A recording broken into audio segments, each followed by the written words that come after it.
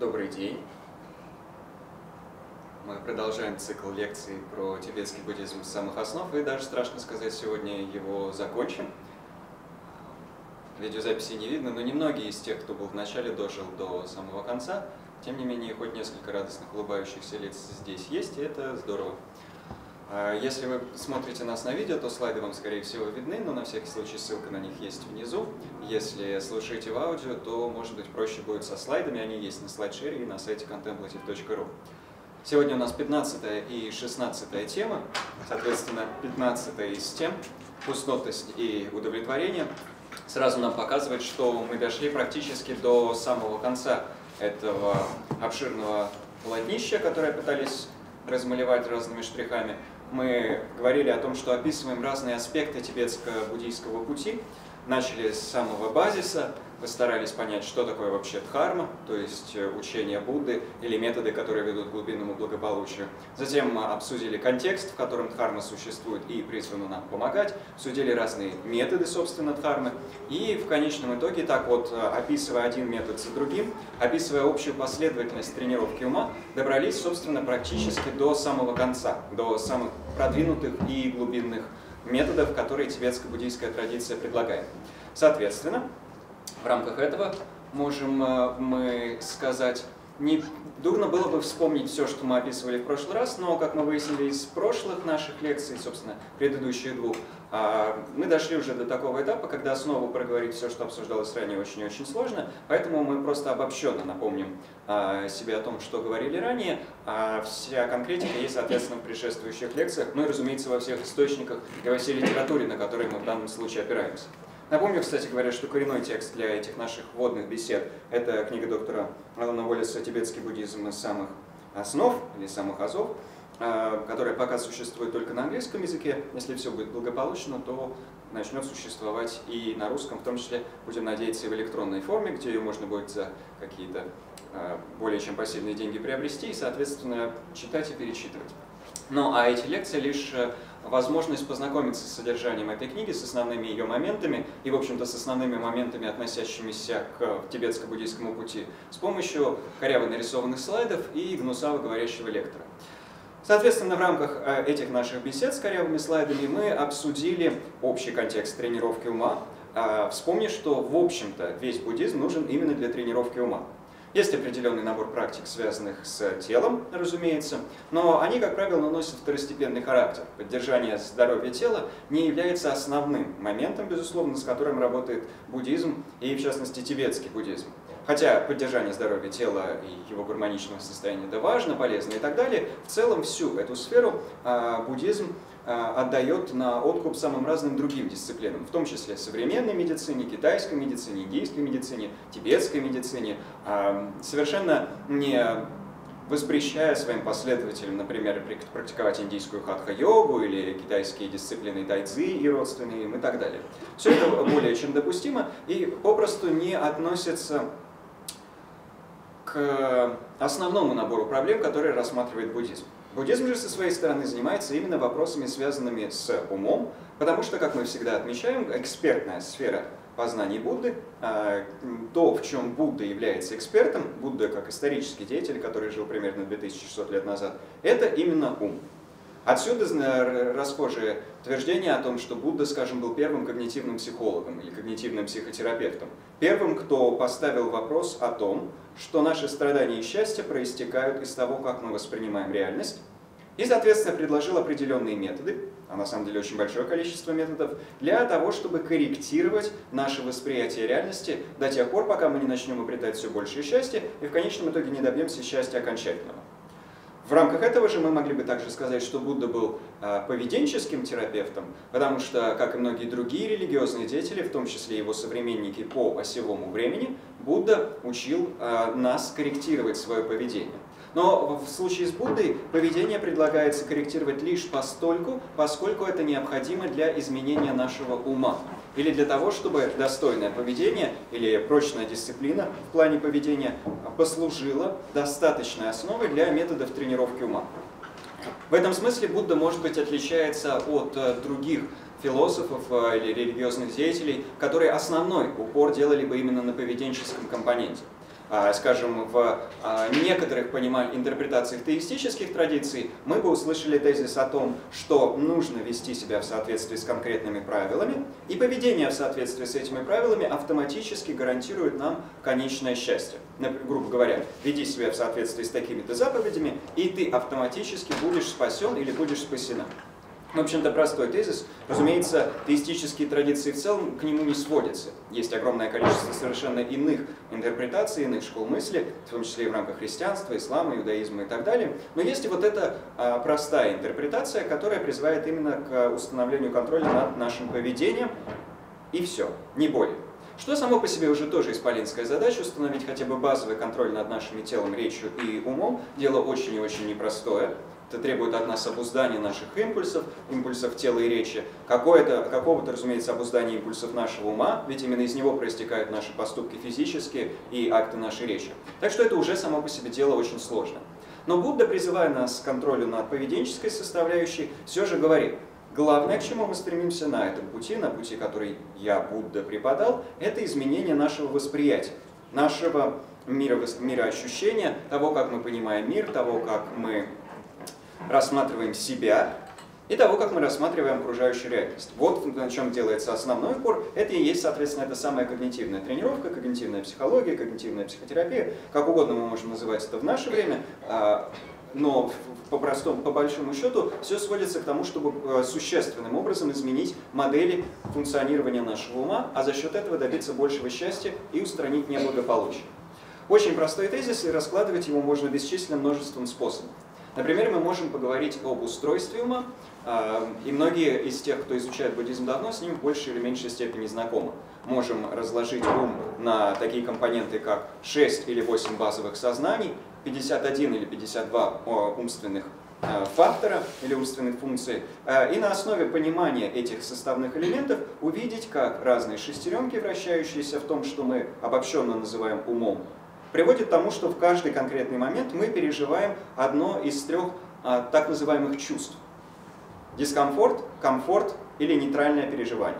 Соответственно, э, таково классическое описание того, что в буддизме называется чувствами. Мы-то чувствами называем гнев, страх, радость, любовь и тому подобные вещи, но исходное санскритское и палийское понятие, бхава, относится именно к вот этим трем переживаниям. Комфорт, дискомфорт и нейтральное. Соответственно, в рамках этого мы, разумеется, инстинктивно стремимся к комфортным переживаниям, инстинктивно стремимся избегать дискомфортных, ну, а к нейтральным относимся, в общем-то, безразлично, что вполне понятно, а, и стараемся, если они присутствуют, опять-таки уехать в сторону большего комфорта.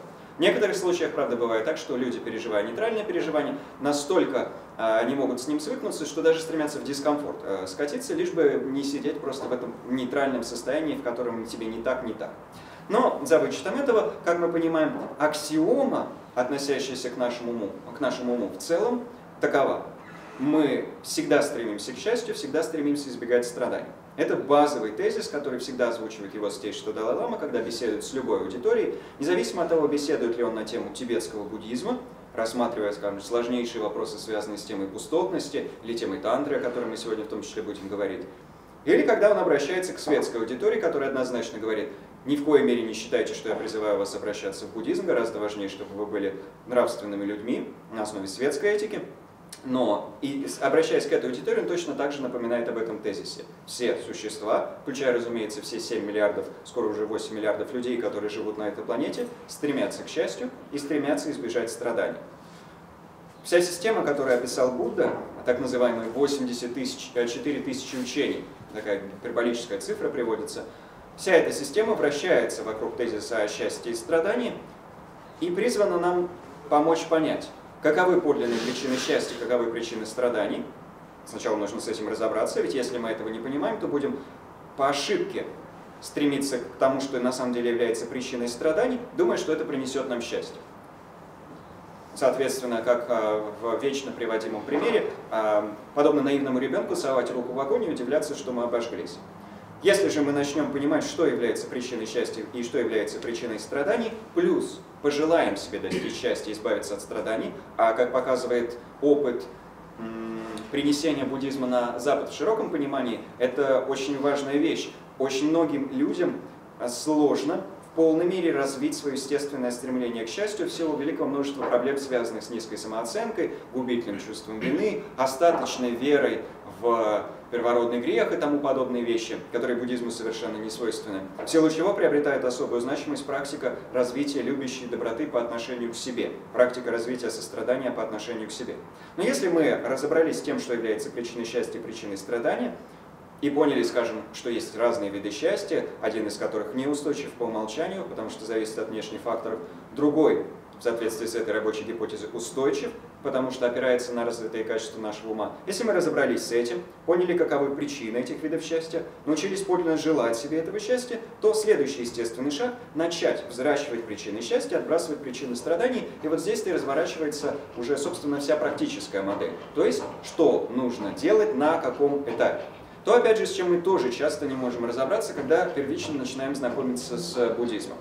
На самом деле, разумеется, буддийские тексты классические, причем буддийские тексты всех трех основных ветвей буддизма, которые можно до двух свести. Мы знаем, что есть две основные ветви, северная и южная, грубо говоря, буддизм Тхировада и буддизм Махаяна.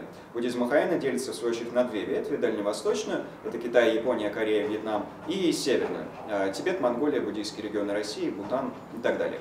Э, все три эти ветви буддизма распространены по свету. Внутри себя они содержат огромное количество вариаций под школ, под традиции, которые между собой может, могут очень радикально различаться. Например, если бы мы посмотрели на японский буддизм конкретно, то увидели, увидели бы радикальные различия между буддизмом э, чистой земли, который в Японии выделился в отдельную, четко э, отделенную от других школу, и дзен-буддизмом. Между ними очень великие различия, хотя, разумеется, базис остается общим, э, относящимся к самому ядру учений Будды. Соответственно, э, э, мы бы увидели эти существенные различия даже в рамках э, каждой из ветвей, и все же если мы на них смотрим действительно через призму исходных учений Будды, мы должны быть способны проследить общий базис, вернуться к таким базовым понятиям, как, скажем, три печати, э, четыре печати, как это называется в буддизме Махаяны, или а, три знака, как это а, а, чаще всего описывается в хиравадинском буддизме, или, скажем, четыре благородные истины, разумеется, первое и важнейшее из учений Будды, ну и тому подобные вещи везде должны быть способны проследить. Если они теряются у нас из виду, то очень легко запутаться во всем многообразии практик. И тогда у нас возникают вопросы. Вот я сходил сюда, здесь мне сказали повторять имя Будды Амитабхи, вот я сюда сходил, тут медитируют на дыхании, вот здесь, соответственно, а, учат какие-то мантры читать, а вот здесь нужно отбросить все мысли и просто сидеть за дзен, а здесь нужно решать коаны, а вот здесь нужно себя представлять сорокоруким божеством. Что-то не могу понять, как это все между собой увязывается, и причем тут вообще, а, соответственно, Будда. Часто возникающая проблема, связанная с тем, что буддизм приходит на Запад, и в том числе в Россию, неупорядоченно. В том смысле, что в большинстве случаев нет возможности привести а, группу учителей а, и сорганизовать их деятельность так, на долгосрочной основе, причем не краткосрочно, чтобы любой желающий, придя к изучению буддизма, мог осваивать его этап за этапом, собрать общую картину, ту самую, которую мы в этих лекциях пытаемся нарисовать, а потом уже знать, что куда встраивается. Опять же, даже если мы приходим в какие-то э, институты, центры, ретритные центры, даже монастыри, где ведутся долгосрочные программы обучения, мы очень легко можем прийти на изучение даже основополагающего какого-то текста и все равно не понять, как он соотносится с общим контекстом пути, все равно не понять, как куда что притыкается. И даже если мы придем в какой-то буддийский центр, скажем, изучать обзорные учения по пути, так, скажем, так называемые тексты Ламрима, этапов пути, изучив тексты Ламрима в рамках одной традиции, мы все равно можем остаться совершенно невежественными относительно того, как то же самое параллельно, но другими словами описывают другие традиции, даже, даже скажем, в рамках только тибетского буддизма. А сила этого нашего недостаточного понимания сходства всех традиций, их общей логики, мы впадем в сектарное воззрение, запутаем себя и других, ну и все это может плохо кончиться. Может и хорошо в некоторых случаях, но иногда плохо. Поэтому-то нам и важно уловить общий принцип, и тут нам на помощь приходят различные метафоры, различные э, образы, с помощью которых легко запомнить общую сущность буддийского пути, которая является общей, кстати говоря, и для южного буддизма, и для северного. Многие знают про замечательную книгу досточтимый Туптен Шедрон, которая называется «Открытое сердце, ясный ум». Соответственно, а, и, собственно, само название этой книги, помимо ее прекрасного содержания, это один из превосходных способов описать всю сущность буддизма. Открытость сердца, ясность ума. Если мы развиваем параллельно эти две вещи, а, доброжелательность, сострадание, способность сорадоваться другим, равная открытость по отношению к другим и все остальное, что мы на Западе бы классически ассоциировали с сердцем. Как мы знаем, в буддизме вообще нет разделения на ум и сердце, это чисто западная категория. Но вот если бы мы своими терминами это описывали, мы бы могли говорить о развитии вот этой открытости сердца, и, разумеется, у многих она с буддизмом ассоциируется естественным образом. Сострадание, ненасилие, на благо всех живых существ, все эти ключевые понятия нам на ум приходят, когда мы про буддизм думаем. Все понятно. Открытое сердце, доброжелательность, доброта. Причем вещь, разумеется, понимаем, это вещи общие для всех религиозных конфессий.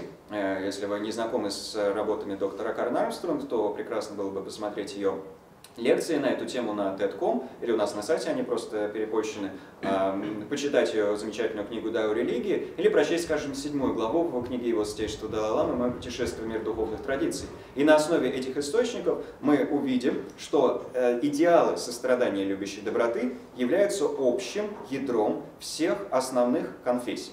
Разумеется, а, отсюда-то и наши идеи о том, что, скажем, любовь ко всем – это христиан, любовь в христианском смысле, как мы это часто называем, если не опираемся в первую очередь на какую-то другую традицию. Я, собственно, и сам всегда это говорил до того, как э, стал активно знакомиться с буддизмом, я противопоставляя романтическую любовь любви в христианском смысле. Идея очень понятная, и, в общем, кто читал Толстого, тот все про это знает. То же самое, разумеется, с иудаизмом, то же самое с исламом, если в особенности глубоко присмотреться к суфийским учениям. И, в общем-то, в целом по палате мы этот идеал видим. Другой вопрос – это, разумеется, насколько эти идеалы любящей доброты и сострадания проявляются на практике, в деятельности конкретных институтов или в методах тренировки ума. Ведь э, какие-то традиции могут нам говорить, да, возлюби ближнего своего, да, подставляй другую щеку и так далее, но не всегда могут при этом описывать, как именно это делать грубо говоря, не объясняют нам принцип, но не объясняют, как, а, как научиться его применять. Ты должен быть любящим, ты должен быть сострадательным, ну здорово, хорошо, я согласен, круто было бы, а что дальше, как это тренировать, вот это уже не объясняется. Почему? Например, в силу того, что многие традиции в своей исторической эволюции и по мере того, как они обрастали э, жестко структурированными институтами, в том числе связанными с социальным расслоением и всем таким прочим, потеряли свои психотехники или в какой-то степени их утратили. Мы знаем, например, что э, католицизм в последние 40 лет переживает с одной стороны, глубокий кризис, глубокий и затяжной, с другой стороны, а, в нем очень мощно поднимаются движения христианской медитации. А, Причем не придуманные в 40, за последние 40 лет. Вот у нас все тонет, поэтому сейчас придумаем медитацию, будем ее а, продавать, и может тогда вы все вернетесь. А наоборот, возвращающий людей к исходным источникам, в первую очередь писанием отцов и матерей пуст... отцов пустынников, а матерей пустынниц, соответственно, самых ранних христианских йогинов, которые занимались интенсивной психопрактикой. На основе этого возврата к исходным психотехникам все большее количество христиан, а, причем не только в католицизме, где в первую очередь это движение поднялись, но и в протестантизме, а, который активно примыкает к этому движению, и в значительно меньшей степени в православии, которое в силу своего крайнего консерватизма неохотно смотрит на все эти вещи. Благодаря этому огромное количество людей имеют возможность освоить простые, реально применимые техники управления умом и техники развития доброты сердца. Соответственно, с этим все понятно, и это является общим для всех традиций. Тут уж мы не можем говорить, вот только буддисты могут говорить о доброте сердца. Но вот вторая составляющая, то, что относится к ясности ума, хотя и является общей тоже для всех традиций, ведь даже в упомянутой христианской медитации очень большое значение имеет способность э, к сосредоточению, развитие способности к сосредоточению, способность к осознаванию своих импульсов, чувств и мыслей, способность к контролю над мыслями э, и импульсами и все такое прочее. Все эти вещи важны и потому они также являются общими. Несмотря на это, буддизм делает особый упор на то, чтобы ясность ума довести до невероятных высот. Не только с точки зрения нашей способности к сосредоточению, к поддержанию спокойствия, к, скажем, управлению своими мыслями, эмоциями и так далее, это все вещи, опять же, общие, но и с точки зрения того, насколько глубоко мы заглядываем в природу реальности, в том числе в природу своего «я» и природу всех остальных явлений. Или, как это чаще описывается, природу личности и природу явлений. Это две главные категории, которые мы изучаем, когда пытаемся постичь глубинную природу всего, что существует. И отсюда вот этот тезис, или вот эта метафора, знаменитая метафора про два крыла, соответственно, тут у нас э, работа Эббета Хендерсона Тайра из собрания Смитсониевского музея, где нарисована женщина с двумя крыльями. Что ж, образ нам хорошо понятный из нашей иудео-христианской художественной и мифологической традиции. Два крыла, соответственно, а, в буддизме это чаще описывается, разумеется, как два крыла птицы. Это крылья мудрости и сострадания, или мудрости и метода, соответственно, где под методом подразумевается все, что относится к доброте сердца, сострадание, а, любящая доброта, способность сорадованию, равная открытость ко всем – а также на более глубоком уровне, уровне а, тантры, на который мы совсем обзорно посмотрим во второй части, а, особые интенсивные состояния ума, такие как блаженство. Это все относится обобщенно к методу. В то время как мудрости обобщенно относятся а, в какой-то степени способность к поддержанию спокойствия и устойчивости ума, способность к сосредоточению, но в особенности наличие или развитие прозрения относительно природы «я», своего «я» и «я» других, и явлений глубинное исследование этих слоев реальности. Другие традиции также содержат учение о мудрости, безусловно, и потому его святейшество Далай-Лама однозначно совершенно утверждает. Все основные традиции содержат в себе методы шаматхи и випашины, как мы это называем в буддизме. Шаматха, методами шаматхи или методами развития шаматхи мы называем методы развития сосредоточения, методами развития випашины мы называем те практики медитации, которые направлены на исследование глубинной природы реальности. Если мы откроем перед собой классические суфийские тексты, скажем, то совершенно однозначно увидим и Шаматху, и Випашли. А если мы посмотрим на христианские тексты по медитации, такие как «Облако незнания», знаменитый а, анонимный текст 14 э, кажется, века, 12 э, который э, очень многие сравнивают с дзен-буддийскими источниками, то точно так же увидим в нем и шаматху, и випашину. Но различие будет крыться в том, как применяется випашина и на что она направлена. Если теистические традиции в первую очередь пытаются направить випашхину на распознавание нераздельности всего сущего с единым источником, творцом или окончательным а, абсолютом, который обладает окончательным существованием. И отсюда, а, в том числе, поэтические образы, которые а, использовал Томас Мертон, а, тоже выдающийся практикующий а, медитации, который был знаком с буддийской и с христианской традициями. В одном из своих стихотворений а, или прозаических выкладок на эту тему он писал о том, что э, мы можем все осознавать себя э, словами на устах Бога. И все, что мы есть, это слово, которое выражается из этого источника. Ну, там на самом деле гораздо красивее это все сформулировано, это так коряво своими словами пересказываю. Но это по большому счету описание христианской випашкины.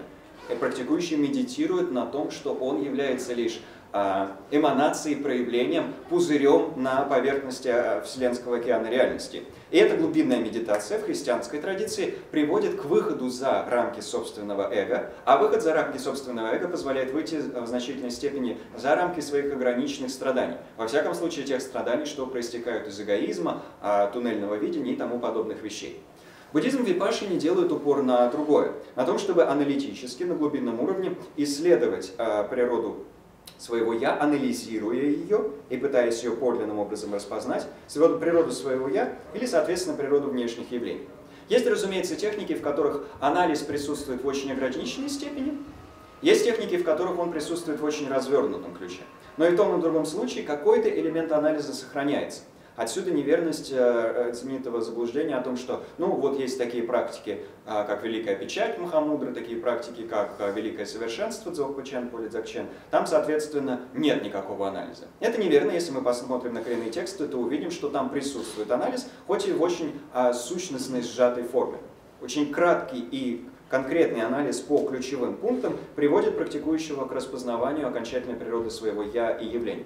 Но анализ все равно есть, просто он очень сжат то время как в текстах Великого Срединного пути Махамадхьямаки или в текстах э, традиции только ум Читаматра, мы увидим, соответственно, более развернутые цепочки, которые практикующий применяет, прежде чем придет к постижению реальности.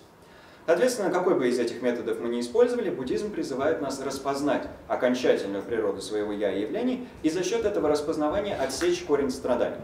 Соответственно, сейчас мы вспомним, как это работает, а, но это лишь возвращает нас, собственно, к той лекции, в которой мы говорили уже про умственные а, факторы, в частности, про омрачение, и в частности, про три коренных омрачения – привязанность, отторжение и неведение. А логика здесь очень проста. А, мы говорили о том, что с точки зрения буддийской психологии, той, которая развивалась в Индии примерно с 2 века до нашей эры до 12 века нашей эры, традиция главных а, монастырских университетов Индии. Первого Такшашила и, и трех великих – Наланда, Викрамашила и Адантапури, из которых мы в особенности чаще всего выделяем Наланду.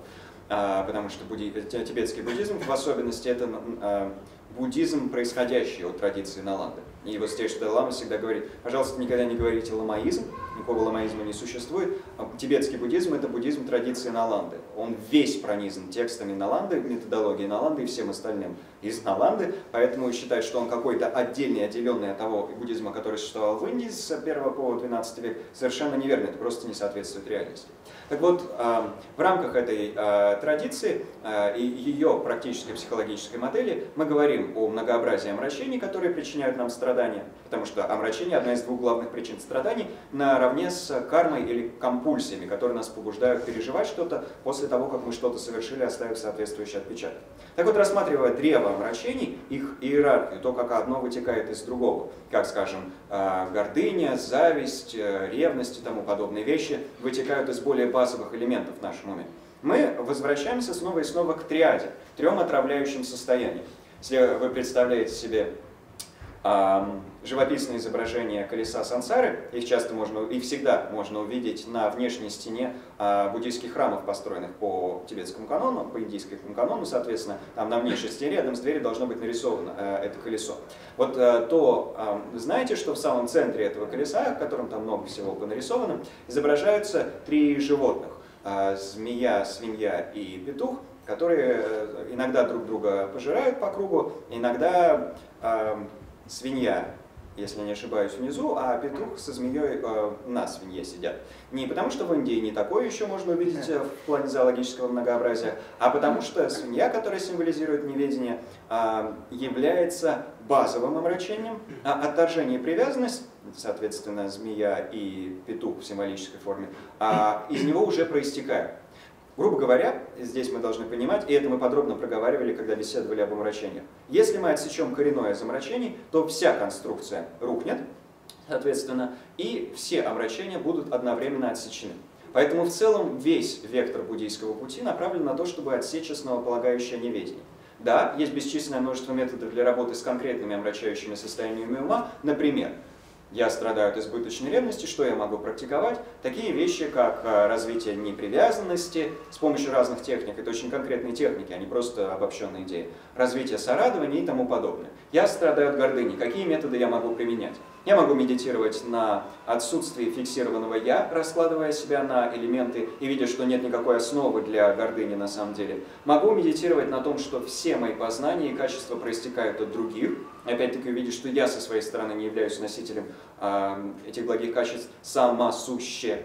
Могу медитировать на превосходных качествах других и таким образом увидеть, что на самом деле, может быть, все меня во всем превосходят. Но не в том смысле, что я от этого паду в заниженную самооценку, а просто в том смысле, что я уравновешу свое чувство э, прекрасно, свое чувство «я». Перестану впадать в завышенную самооценку, перестану скатываться в заниженную, и у меня будет здоровое и адекватное представление о своем «я» и моих благих и дурных качествах, соответственно. Любой из этих методов могу применять, их на самом деле гораздо больше, но главное, что вот такой арсенал существует.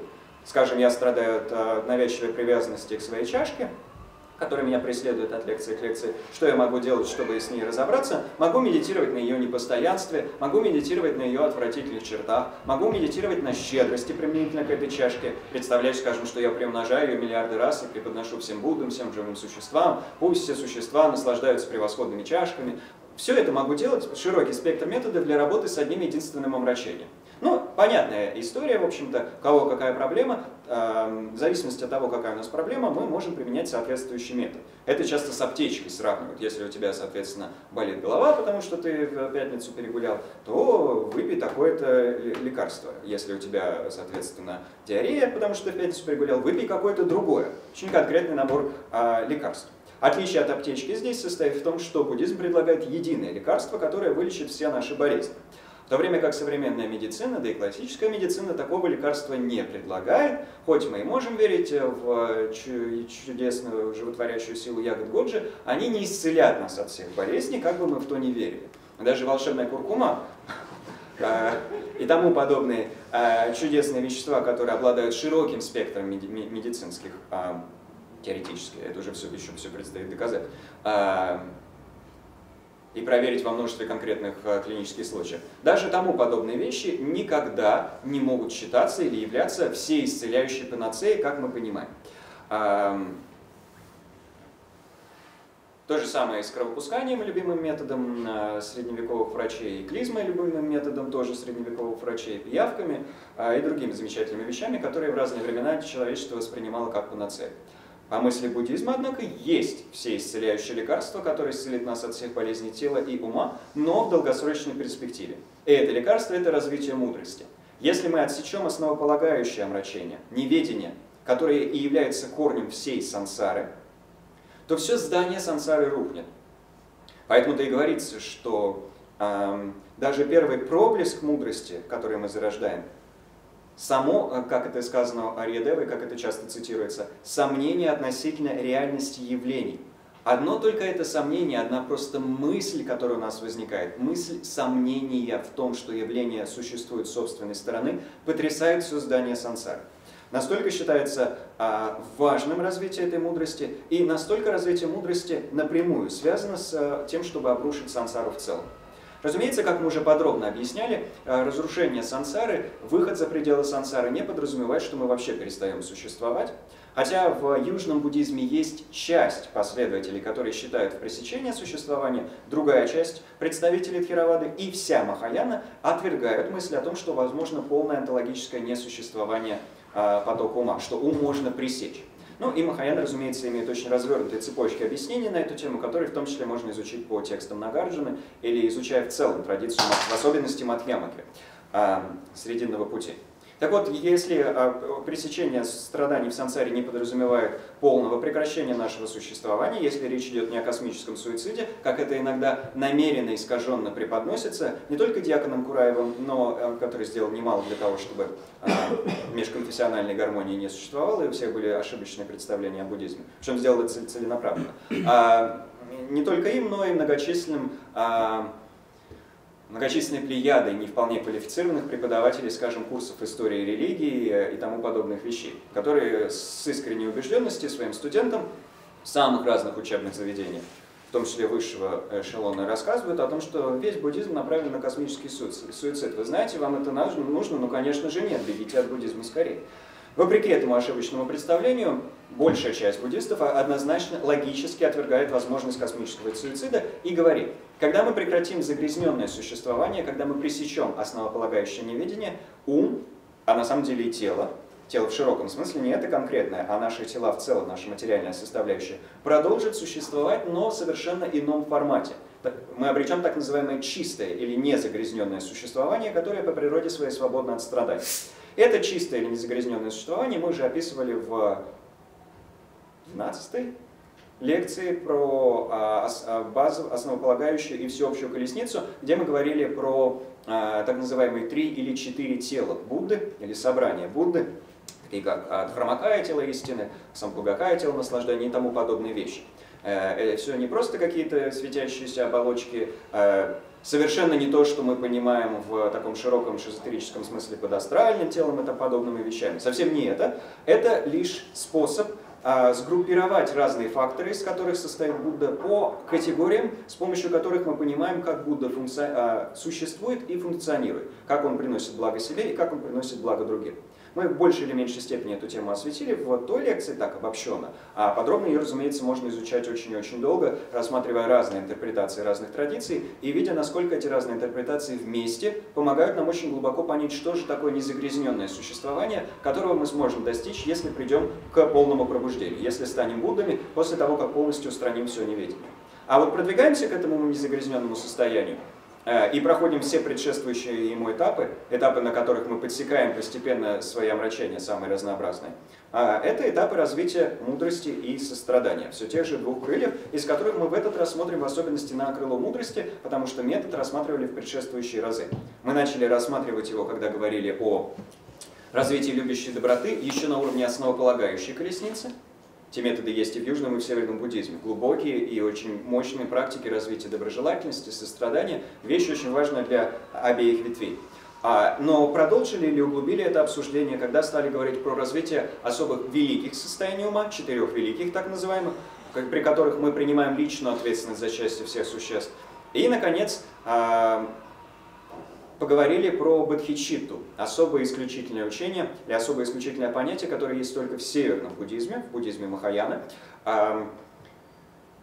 и под которым подразумевается стремление достичь полностью, а, полностью пробужденного состояния, состояния Будды ради блага всех живых существ. Соответственно, в прошлые разы, это, это было 13-14 лекции, мы поговорили собственно про Бодхичитту, про поэтапный путь ее развития, про то, как она затем переливается в практику нравственных совершенств, а, так называемых парамид, и про то, как мы можем применять методы развития бодхичитты для преобразования проблем в путь, как мы говорили. Сталкиваясь с затруднительными ситуациями, использовать широкий спектр методов, но в особенности методы бодхичитты, для того, чтобы затруднительные ситуации, такие как наши болезни, расставания, карьерный крах, а, внешний кризис, экономика, политика, экология, все на свете, преобразить в путь развития мудрости и сострадания опять-таки. А на живоп... Еще один... В буддизме вообще очень много, на самом деле, символических, разумеется, изображений этих самых двух крыльев, а, потому что вообще у буддизма очень развитая художественная система и в то же время очень прикладная.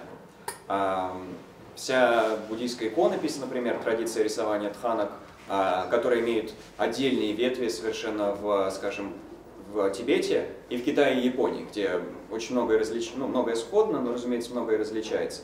И традиция буддийской скульптуры и тому подобные вещи, все они носят исключительно прикладной характер.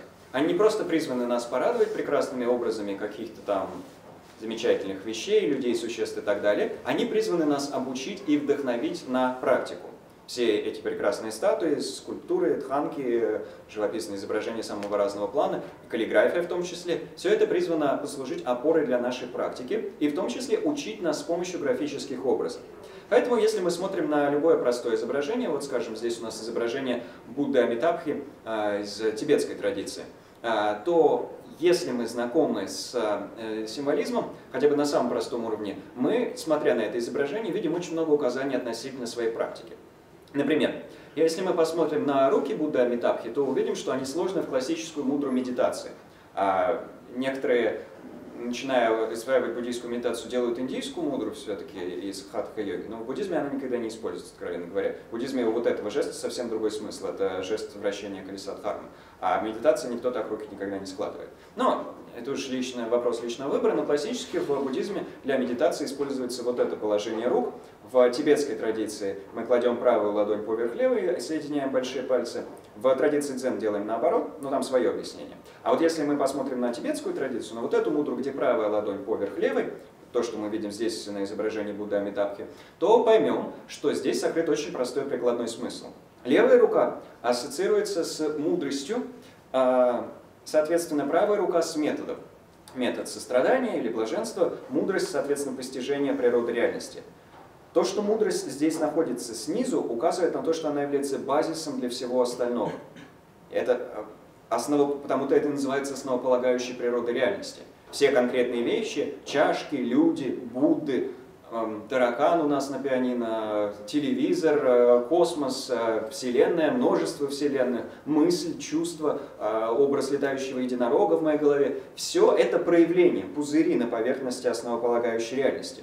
Но сама основополагающая реальность, которую мы можем по-разному описывать, например, через такие слова, как бессамостность или пустотность, это базис, то, из чего все проявляется. Поэтому-то она и снизу.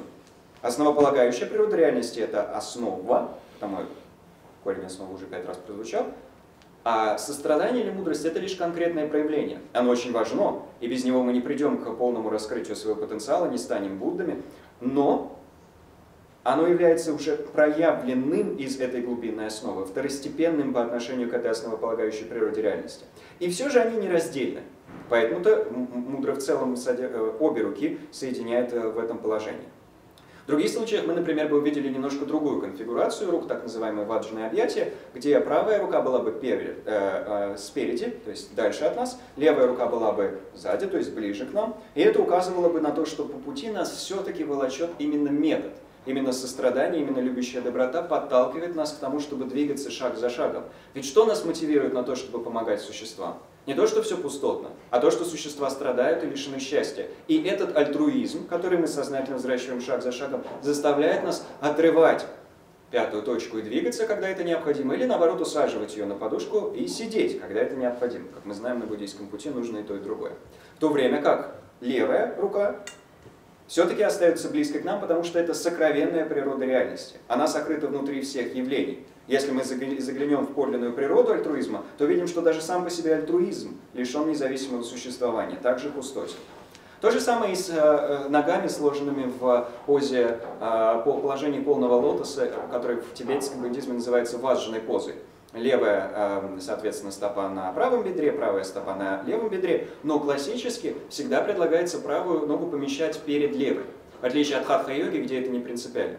А, разумеется, если мы э, все, ну, знаем технику травмы безопасности, мы будем менять перекрест ног, потому что иначе можно накопить травму. Но на символическом уровне именно правая нога оказывается спереди, потому что метод ведет, а мудрость сокрыта внутри. Мудрость это сокровенная, точнее говоря, пустотность внутри. Пустотность сокровенная природа всех явлений, но метод, который проявился на поверхности, ведет нас к полному достижению состояния Будды ради блага всех существ.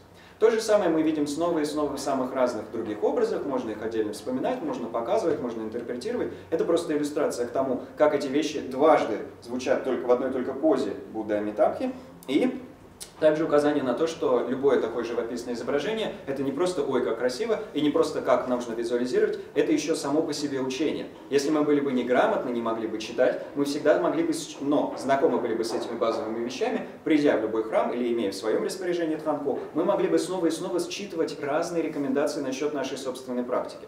Ну, грубо говоря, мы, не, мы неграмотны, но у нас есть изображение а, Будды Тары, а, очень любимой тибетцами Будды в женской форме. А, мы выполняем практики, связанные с Буддой Тарой, или вообще в целом она нас вдохновляет. И вот смотрим мы иногда на это свое изображение, может быть уже старое, может быть маленькое по объему, может быть и большое, конечно, но, скорее всего, если мы на мат, то откуда у нас э, в шатре будет большое изображение? Что-то маленькое мы с собой возим там по этим необъятным тибетским полям, читать не умеем, и все же мы смотрим на это изображение и видим, что у Тары та же самая история с позой, например, ее правая нога вытянута, указывая на метод, левая нога поджата, указывая на мудрость, правая рука вытянута, указывая на метод, левая рука прижата к сердцу, указывая на мудрость и так далее. Даже на основании этих простых указаний в, том, как она, какую позу она принимает, мы бы уже видели ежедневное напоминание напоминание, напоминание для нашей ежедневной практики. Вспоминали бы, ага, если я хочу стать Тара, достичь того же пробуждения, что э, достигла она, мне нужно сочетать сострадание, готовое помогать живым существам, и мудрость, которая распознает природу реальности. Я не могу одно отбросить ради другого. Не могу только всем помогать все время, раздавая все до последней нитки, и при этом не задумываясь о том, как реально существую я явление.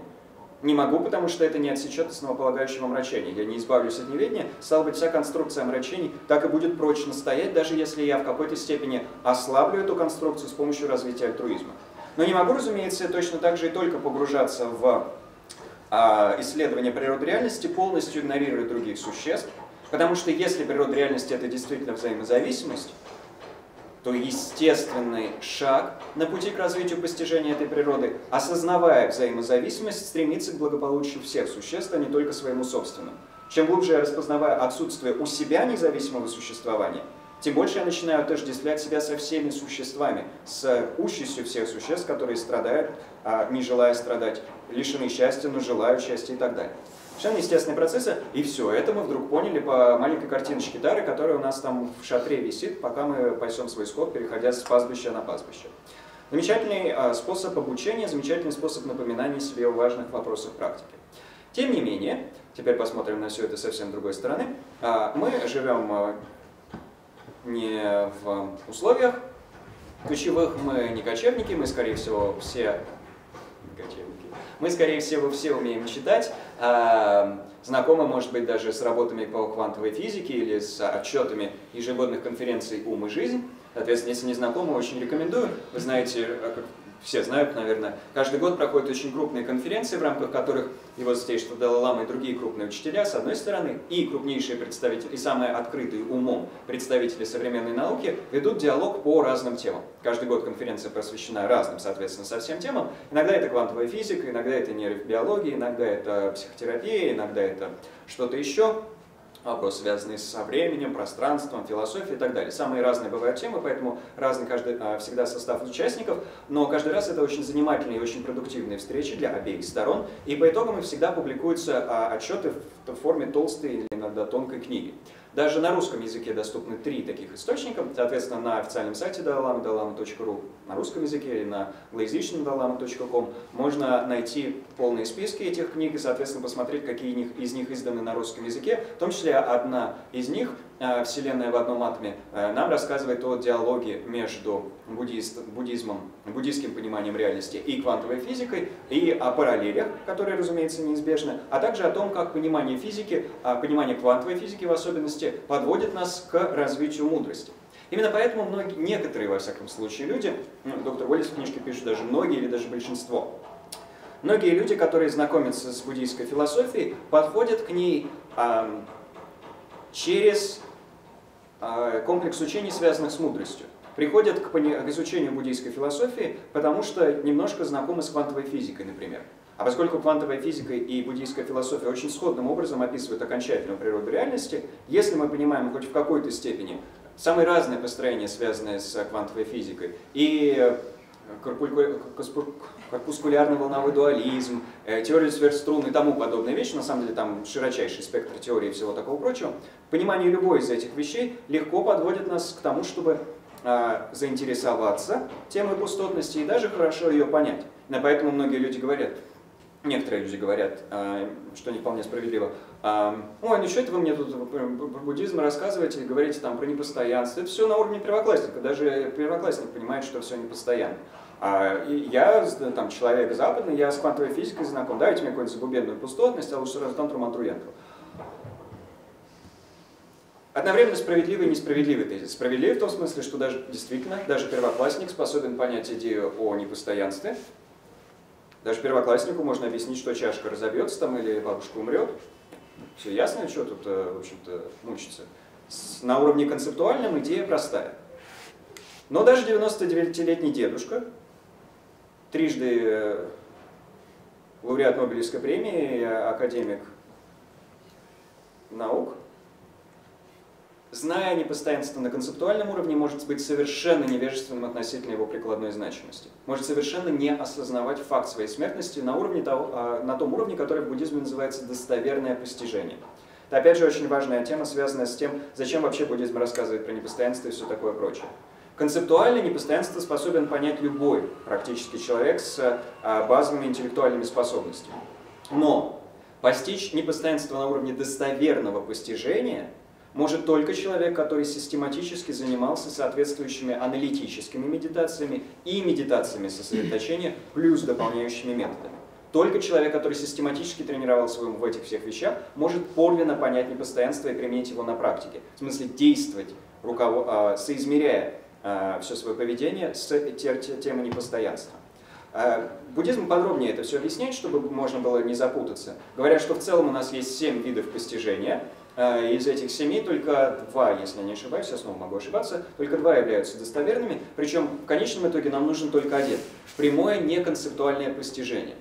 Только когда мы напрямую, без посредства концепций, осознаем факт непостоянства так, что он станет неотъемлемым элементом нашего мировоззрения, настолько же естественным для нас, как дыхание, только тогда мы, можем, мы сможем гордо говорить, да это я все понимаю, непостоянство я уже постиг.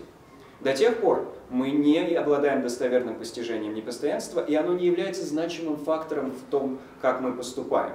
То есть, конечно, если мы здоровый человек, то, принимая какие-то большие решения, мы можем учитывать этот фактор концептуально, думать, да, но все-таки с учетом непостоянства, наверное, сейчас не лучшие времена, чтобы открывать, соответственно, а, ресторан, где все будут тибетскими пельменями кормить. Может быть, сейчас там все, все поменяется, тра-та-та-та-та, или э, думаем, ну, сейчас я на ней женюсь, а потом через 20 лет посмотрю, какая она станет, и, может быть, разведусь. То есть даже на этом уровне мы учитываем непостоянство, соизмеряем как-то а, с ним свое поведение. Но это лишь концептуальное соизмерение. Оно не относится к глубочайшим слоям нашего ума. Если бы мы обладали достоверным постижением непостоянства, нам даже не нужно было бы задумываться а, о том, что все непостоянно или, скажем, мы умрем. Все существование наше опиралось бы на этот факт непостоянства, все наше поведение, точнее говоря, и проистекало бы из понимания непостоянства, так же, как, как сейчас мы а, считаем аксиомой то, что нам нужно дышать. Мы не думаем интеллектуально, ой, а не забыл ли я подышать? Нужно подышать, ведь если я подышу, не подышу, то я, соответственно, умру. Не думаем об этом, потому что для нас на биологическом уровне это естественно. Вот таким же естественным в силу неконцептуального постижения для нас должна стать, э, тем, э, таким же естественным для нас должно стать непостоянство. Перед этим а, идет другой уровень достоверного постижения, при котором мы понимаем постоян, непостоянство все еще концептуально, но способны разложить непостоянство а, или понимание непостоянства до самых базовых компонентов. А, в прошлые выходные у нас был семинар про четыре безмерные, который мы старательно записали, и там вот мы приводили пример с концептуальным пониманием, скажем, любящей доброты. Это концептуальное понимание предшествует неконцептуальному пониманию любящей доброты. Ну, вот, скажем, любящая доброта. Желание, чтобы объект обладал счастьем и причинами счастья. А, здорово. А, если я не знаю даже этого определения, то о достоверном постижении вообще не приходится говорить. То есть это просто знание слов любящая доброта, это вообще даже сложно назвать постижением. Это просто знание термина. И мы вовсе не обязательно знаем, что за, этим стоит. Потому что можем думать, ну, любящая доброта – это когда ты всех кормишь пирожками. Или любящая доброта – это когда ты всех обнимаешь. Или там, а, любящая доброту также часто переводят как любовь, ну, с исходных санскритско-палийских понятий. И тогда уж вообще как бы полная через полосица. Ну, любовь – это когда ты обращаешься в любимого. И дальше там самые разные интерпретации, самые э, разные дикости или достоверности. Но если мы даже просто знаем определение, даже это еще не, не э, достоверное познание, мы должны быть способны это определение разложить до самых базовых э, концепций. Быть способны каждую из них объяснить, а затем все это разложенное многообразие, весь этот пазл, сложить обратно в общую картинку. Вот тогда это считается достоверно концептуальным постижением. То же самое с темой пустотности, то же самое с темой непостоянства. Если мы знаем какие-то вещи, но не способны их разложить до мельчайших элементов и потом вербально соединить обратно, вербально так, чтобы понял каждый, у кого есть соответствующий уровень интеллектуальной способности, это еще не, не, недостоверное постижение. И уж тем более э, нам все равно необходимо будет в конечном итоге перейти к неконцептуальному пониманию, э, к прямому видению непостоянства как э, свойства явлений. То же самое и с пустотностью.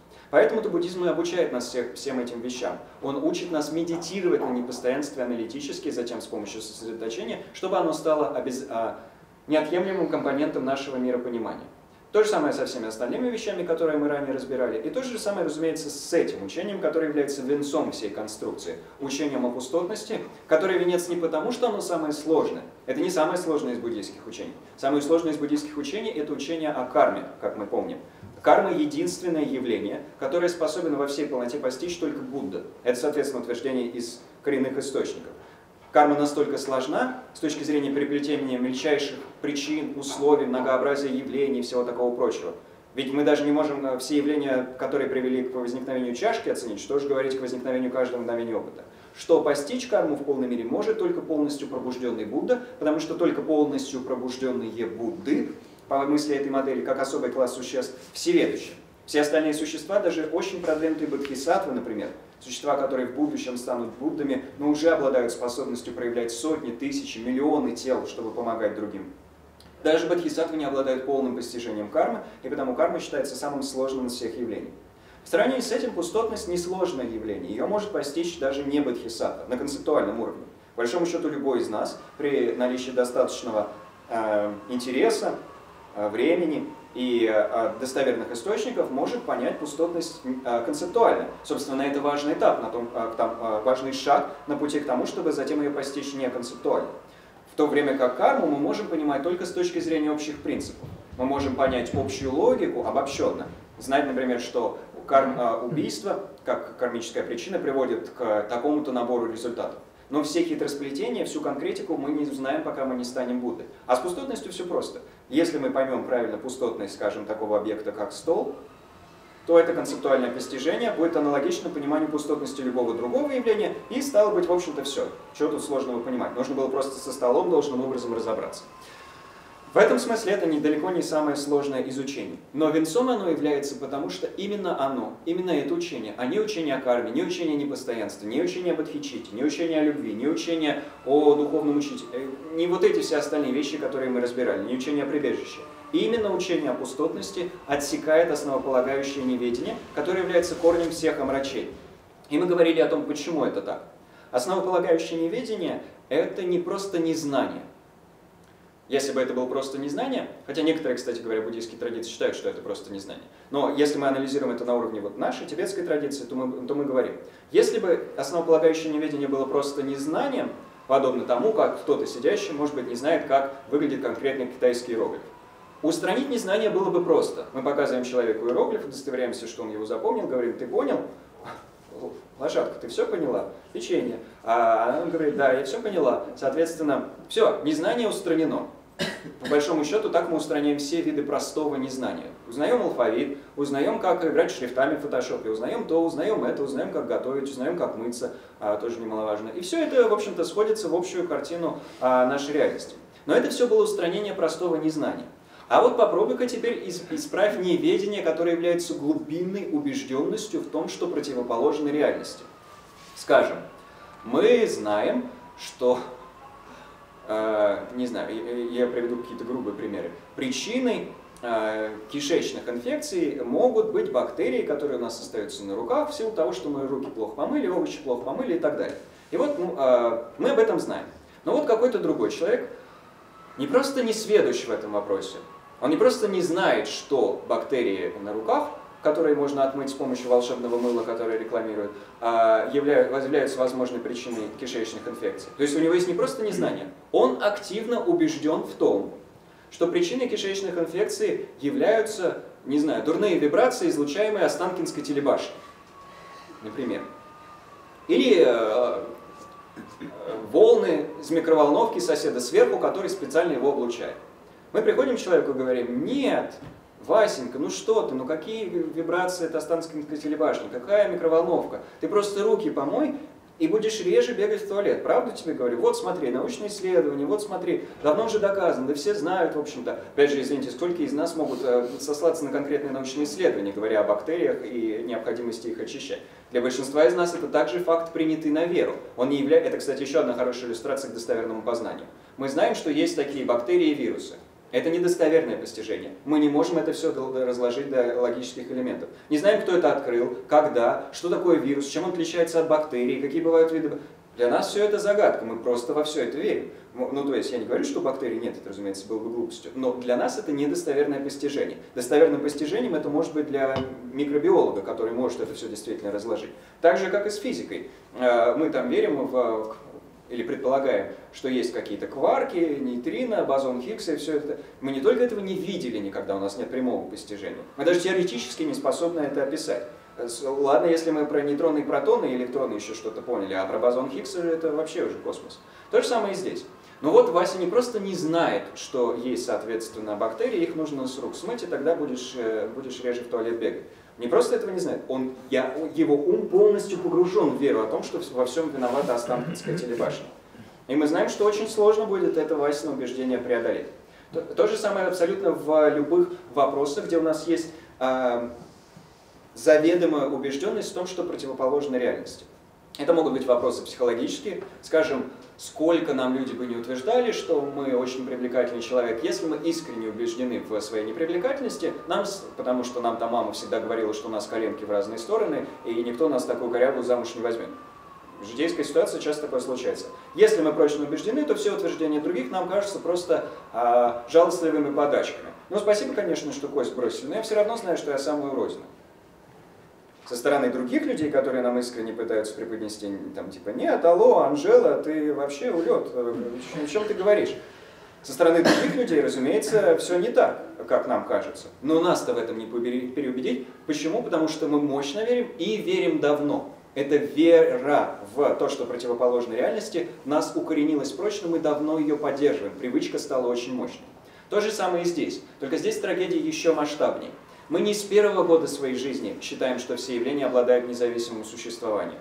Мы не в школе про это узнали и не в институте. Эти вещи было бы легко скорректировать. Ну, грубо говоря, вот мы пришли в какой-то странный культ, где нам рассказывают, что Вселенную управляют инопланетяне, ну, мы, мы усвоили это, этот вид неведения, какое-то время в него верили, но если мы верили в него не очень долго, то от него может быть легко избавиться. Приходим в другое место, и нам там рассказывают, что а, на самом деле всем управляет макаронный монстр, а вовсе не инопланетяне. Ну и сразу исправляется ситуация, мы узнаем что-то другое. А потом приходим на лекцию про взаимозависимость и узнаем, что, о боже, Вселенную управляют не инопланетяне не макаронный монстр, а причины и условия, узнаем это и противодействуем а, своему заблуждению. Поскольку заблуждение было недостаточно глубоким, его легко исправить. Точно так же, как может быть и даже в случае с убежденностью в своей непривлекательности и так далее. Это вещи не глубинные, они ограничиваются рамками этой жизни. Но вот неведение относительно природы своего «я» и явлений по мысли Будды а, безначально. Оно всегда было с нами, поэтому остается лишь ужасаться при мысли о том, насколько мощная эта привычка. Не просто незнание, которое всегда с нами было. Если бы это было просто незнание, а, его можно было бы устранить за три секунды. Вы знаете, все пустотно. Оп, мы все стали арибадхисатами. Еще чуть подумали и достигли состояния Будды. Точно так же, как в темной комнате достаточно включить свет, чтобы вся тьма ушла. Мы не изгоняем тьму шаг за шагом. В отличие от вот этого примера со светом и тьмой, свет мгновенно устраняет тьму, неведение устраняется постепенно. Иногда быстро, иногда медленно, в зависимости от того, какие методы мы применяем, но никогда не одномоментно. Почему? Потому что мы эту привычку накапливали и усиливали с безначальных времен. А потому нам нужны очень мощные методы, а, связанные с постижением подлинной природы реальности. И, соответственно, мы обобщенно говорили, а, и вот это неведение, которое у нас вошло в привычку, это не просто незнание о том, как существует явление, это активная вера в способ существования противоположной реальности.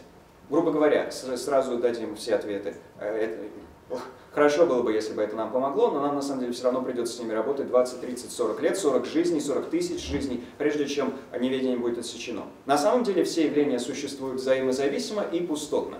Они все существуют только во взаимозависимости, и они все лишены неотъемлемого или независимого, тут есть разные уровни объяснения, существования. Вот, собственно, описание окончательной реальности, как ее увидел Будда, как ее описывали мастера Наланда и так далее. Мы все это услышали. Устранилось наше основополагающее неведение? Нет. Не только потому, что мы не поняли ни одного из сказанных слов, ну ладно, если слово взаимозависимость, но неотъемлемое, независимое существование, пустотность, что это все за вещи такие, непонятно. Не только потому, что мы слов этих не знаем, а их важно узнать, потому что изучение всего буддизма – это в первую очередь построение терминологического аппарата в нашем уме. Мы должны знать правильные слова, знать, как что называется, чтобы с этим уметь работать. Если мы врач, нам нужно знать, как что называется, потому что если мы не будем знать и будем у медсестры требовать, ну вот этот вот с крючочком, только не такой, а потолще, то далеко, соответственно, как хирург не уедет. То же самое и здесь. Мы, как хирург, препарирующий свой собственный ум, далеко не уедем, если не будем знать, какой с крючочком только потолще нам необходим, и что мы пытаемся там в уме подковырнуть. Но не только в отсутствии терминологического аппарата проблема. Еще и в том, что у нас есть эта глубинная привычка к неверному, неверному, неверному восприятию реальности. И даже когда мы как, мы, как человек с тремя высшими образованиями, свободно читающий на семи языках и, э, не, знаю, посещающий э, дискуссионные клубы еженедельно, э, даже когда мы концептуально поймем всю эту телегу про не, не, э, взаимозависимость, отсутствие независимого существования, это может ни в коей мере не задеть нашего глубинного э, чувствования реальности. Поэтому можно быть превосходным буддологом, быть профессором, преподающим буддийскую философию в университете, и наять знающим а, особенности текстов Нагарджуны, Чандракирти, тонкости интерпретации здесь, тонкости интерпретации так, так, чтобы при этом это никак не задело даже внешнюю оболочку нашего неведения. И потому нам важно не просто концептуально понять пустотность, но и работать с ней на уровне аналитических медитаций и медитации сосредоточения, так же как с непостоянством, чтобы она в конечном итоге перешла у нас на уровень того достоверного постижения, которое все раскладывает на элементы и способно обратно собрать, а в конце концов стало бесконцептуальным достоверным постижением. Вот когда мы переживаем как мы помним из предшествующих лекций, мгновение неконцептуального понимания реальности, когда мы напрямую постигаем окончательную природу явлений на один миг, мы становимся Арья Бодхисаттвой. Мы подлинно вступаем на 10 этапов пути Бодхисаттвы, которые нас в конечном итоге приведут к состоянию Будды. Потому что у Будды постижение окончательной реальности никогда не прерывается, оно постоянно. Будда никогда не теряет окончательную реальность из вида, в то время как Бодхисаттвы переживают ее лишь периодами, а соответственно мы как человек, который вступает, или существо, которое вступает на путь Арья Бодхисаттвы, переживем пока только лишь на один краткий миг. Даже до этого нам еще трудиться и трудиться. Даже до этого, а, если мы идем медленным путем, путем Сутраяны, нам предстоит очень обширный, развернутый, но крайне занимательный, разумеется, путь.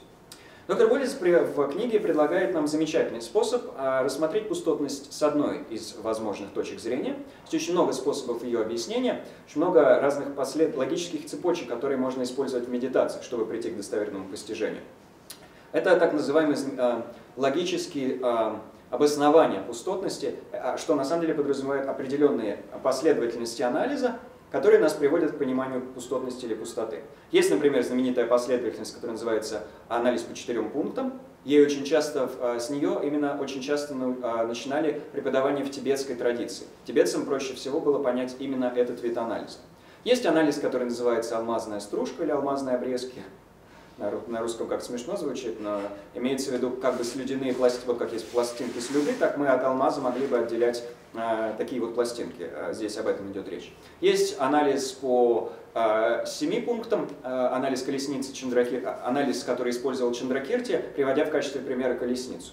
Ну и другие виды анализа, но чаще всего на Западе проще а, а, начинать с анализа взаимозавис... через взаимозависимость. Собственно, один из первых учителей, которые стали приносить тибетский буддизм на Запад, Лама Туктен Еши, всегда объяснял пустотность именно через эту логическую последовательность. Последовательность, взаимо, с взаимозависимостью. Почему? Потому что на Западе мы все, мы многое знаем про взаимозависимость. Вся физика, вся химия, вся биология, антропология, все эти вещи построены на идее взаимозависимости. Если ты, как физик, не веришь в взаимозависимость причины условий, то ты идиот, ты никакой не физик, потому что ты думаешь, что все происходит волшебным образом, чудесно, безотносительно друг друга.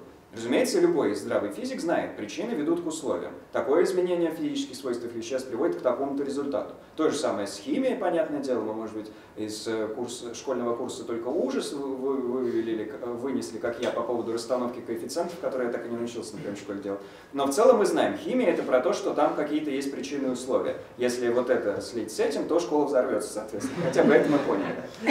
То же самое и с биологией, как мы понимаем, если взять э, блондинку и брюнета, то там получится какое-то сложное сочетание генов и хромосом, и потом там некоторые дети будут такие, а некоторые сякие, а некоторые как кошечки разноцветные, соответственно, страшно все интересно. Даже если мы не понимаем, как это все работает, знаем, все подчинено причинам и условиям. Ну и, наконец, совсем уж э, простой пример. Если мы огородник, то знаем, если я посажу картошку, из нее не вырастет яблоня. Из нее вырастет картошка или ничего не вырастет, но точно не вырастет яблони, если я, конечно, не в Чернобыле живу. А, очень простая логическая последовательность, нам всем знакомая.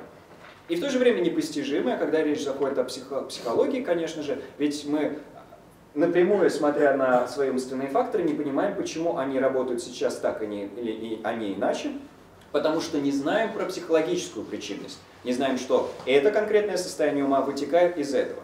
Счастье как состояние ума вытекает, из таких-то факторов. Если хочешь получить счастье, нужно эти факторы собрать. Это для нас все неведомо, но это потому что, а, западной психологии только 150 лет, она на первых этапах своего развития. Б. Даже с этой 150-летней психологией никто из нас толком не знаком. В. В нас очень глубоко сидит убежденность в том, что э, убежденность в неверных тезисах относительно психологической реальности.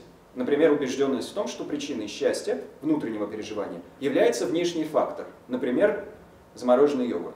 Мы очень глубоко в этом убеждены, это опять же неверная убежденность в неверном факте, причем глубоко сидящая, и потому все это у нас так в жизни плохо. Вот. Мы как люди, знакомые с взаимозависимостью на самом простом уровне, через взаимозависимость, в том числе известную нам по квантовой физике и так далее, способны пустотность легко постичь. И вот последовательность, а, цепочка а, объяснений, которые используется здесь э, доктором Уоллисом. Во-первых, э, э, рассмотрение внешней реальности. Вещь, которая очень активно занимается теорией физики, теорией философии в целом и когнитивной науки, как широкий спектр западных исследований.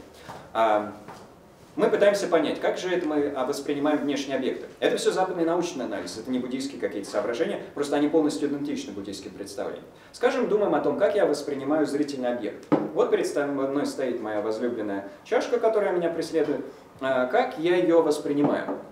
А, инстинктивно, если мы не осмысляем глубоко эти вопросы, нам может казаться, что информация исходит со стороны самой чашки, вливается в меня как в бадью, Помните позитивистская теория бодейного познания, с которой полемизировал Карл Поппер? А, я как бодья просто являюсь тем, во что вливается, соответственно, информация о чашке. Мой глаз это такое, две такие дверки, и вот туда эта информация вливается, а мой мозг это бодья. Вот у меня в мозгу уже возникла информация о чашке. С точки зрения и физики, и микробиологии, и медицины, и когнитивных наук это полная чушь постижение любого объекта, восприятие любого объекта – это очень сложный а, производный процесс. В нем нужно учитывать великое множество факторов. Ни одна э, здесь компонента не является просто дверкой. Глаза это не просто дверка, а это очень сложный функционирующий механизм. Мы, мы это понимаем на множестве разных уровней. И нейроны там должны двигаться так-то и так-то, глазное яблоко должно быть устроено так-то и так-то, синапсы должны быть э, функционировать так-то и так-то, какие-то части в мозгу должны быть достаточно развиты, не повреждены, они должны функционировать так-то и так-то, биохимия мозга должна быть такой-то и такой-то, свет должен отражаться так-то и так-то и так далее. Великое множество факторов разные науки э, могут описать. Физика описывала бы, скажем, отражение, преломление света и так далее. Э, нейрофизиология описывала бы устройство нейронов и синапсов. Э, и что-то еще, э, там, общая биология могла бы говорить о форме глазного яблока и так далее. Великое множество вещей э, мы можем описывать, и все они в совокупности приводят к тому, что я вижу эту чашку.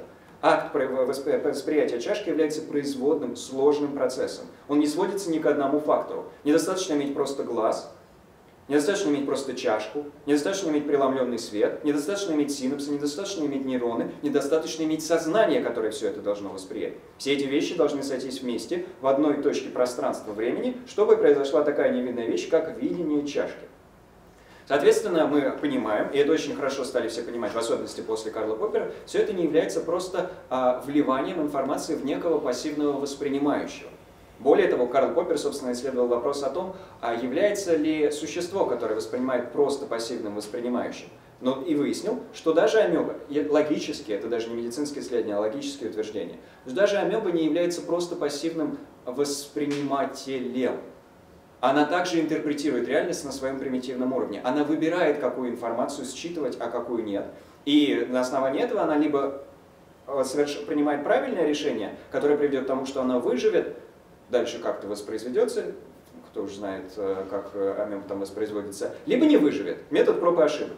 У нас, как у людей, чуть больше э, простор для проб и ошибок, потому что многие из решений, которые мы принимаем, не приводят к нашему физическому уничтожению. Но некоторые приводят, соответственно, и тут, тут та же самая логика. Мы выбираем, какую информацию считывать, затем ее интерпретируем, затем принимаем решение относительно своего поведения, и на основании этого решения либо гибнем, либо выживаем. Либо приходим к большему счастью, либо к большему страданию и так далее. Но важно понимать, что мы ни в какой момент не являемся пассивной бадьей, в которой вливается информация. Мы всегда сами решаем, какую информацию считывать. Да, да, может быть подсознательно или бессознательно, э, это уже другой вопрос, но мы определяем, как реальность интерпретировать. Кто-то здесь видит одно, кто-то другое, потому-то мы знаем, наше видение этого помещения будет очень различным, а на основании этого очень разными будет наша интерпретация, очень разными будет наше поведение. То есть ни в какой момент ни один из компонентов не является независимым. И что особенно важно – про это мы чуть подробнее позже говорим, э, ничто в этом акте восприятия не является независимым от ума, от сознания. То есть мы перечислили много разных факторов. Отраженный свет, преломленный свет, форма э, отраженный, преломленный, форма глазного яблока, наличие вообще солнца, которое сюда этим светом светило, ведь мы могли бы быть где-то абстрактно в кромешном мраке, и так далее. Синапсы, нейроны, все это. Материальные составляющие, их, нельзя, э, их значимость нельзя умалять. Но в особенности важно осознать, все это существует относительно сознания. Мы никогда не можем говорить про восприятие, про когницию в отрыве от сознания. Вот это очень важный тезис, э, который важно понять, чтобы понимать пустотность. Разумеется, и все остальные факторы в этом анализе мы не можем выкинуть. Но нам здесь в особенности важно осознать, что ни один воспринимаемый объект не существует безотносительно сознания. То же самое мы, разумеется, видим на примере корпускулярно-волнового дуализма. Тут-то как раз мы видим прямую связь причинно-следственную, причем или факторную, между сознанием и внешней реальностью. Если мы э, думая про чашку, думаем, что она э, существует относительно сознания просто с точки зрения ее восприятия, может быть, не совсем пассивного, но все-таки относительно пассивного, потому что мое восприятие не заставляет чашку изменить ее физические свойства. Она не становится, э, скажем, более тяжелой, не меняется ее масса, а она не взлетает в пространстве, не меняется ее локация и не меняется ее объем, скажем. Эти вещи не меняются, по крайней мере, когда я ее воспринимаю. То в случае с э, частиц, частицей и волной все гораздо хуже в зависимости от того, как я ее наблюдаю, она либо частица, либо волна. Что за дела, стало быть, мое сознание еще активнее влияет на реальность, чем мне казалось или хотелось бы.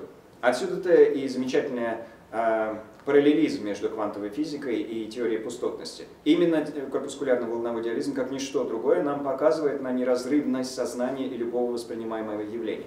Но в чем проблема?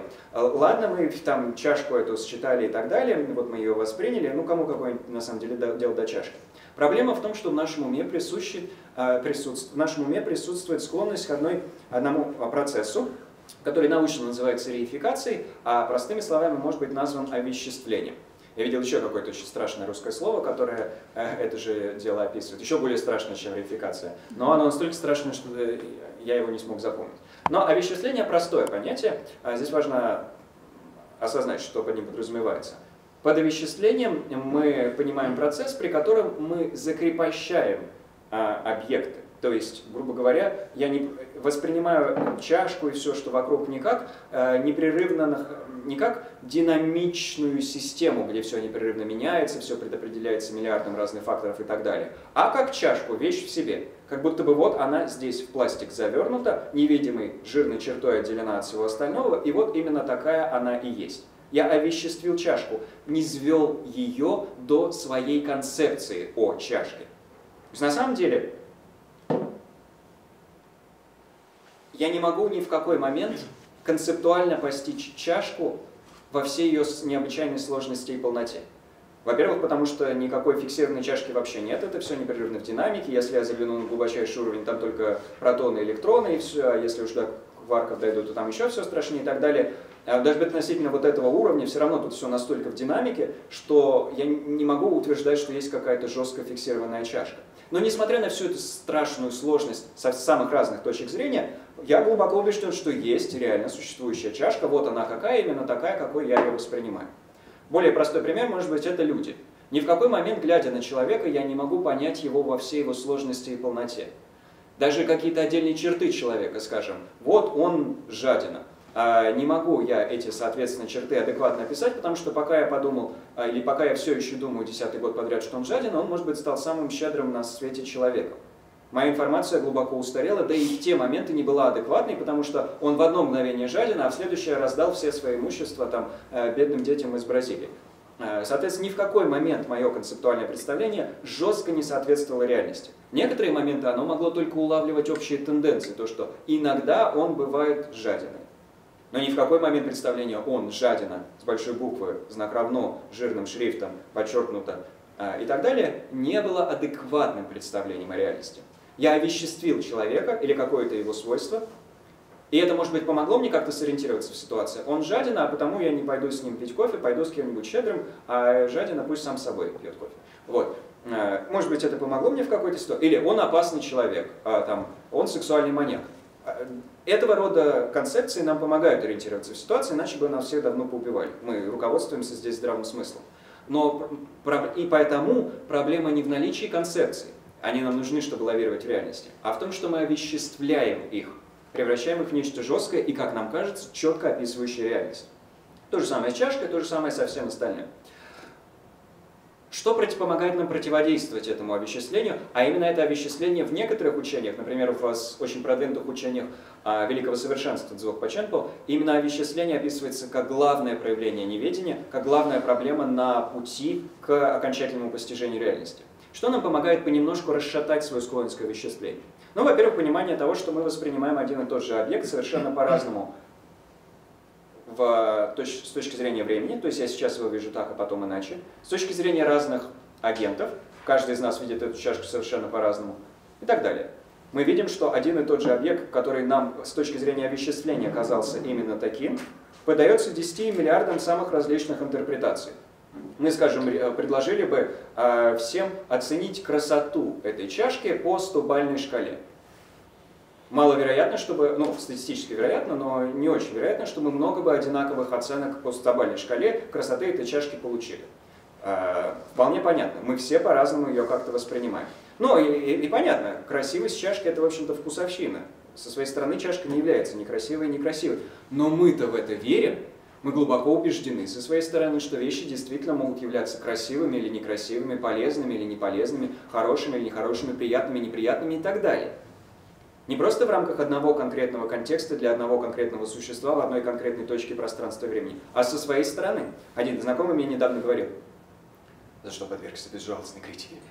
А, мальчикам вот это, не будем там говорить, что идет больше, чем девочкам. А наоборот, девочкам вот это идет больше, чем а, мальчикам. Ну, грубо говоря, чтобы переделать то, о чем шла речь. Например, а, девочкам красные шляпки идут больше, чем мальчикам.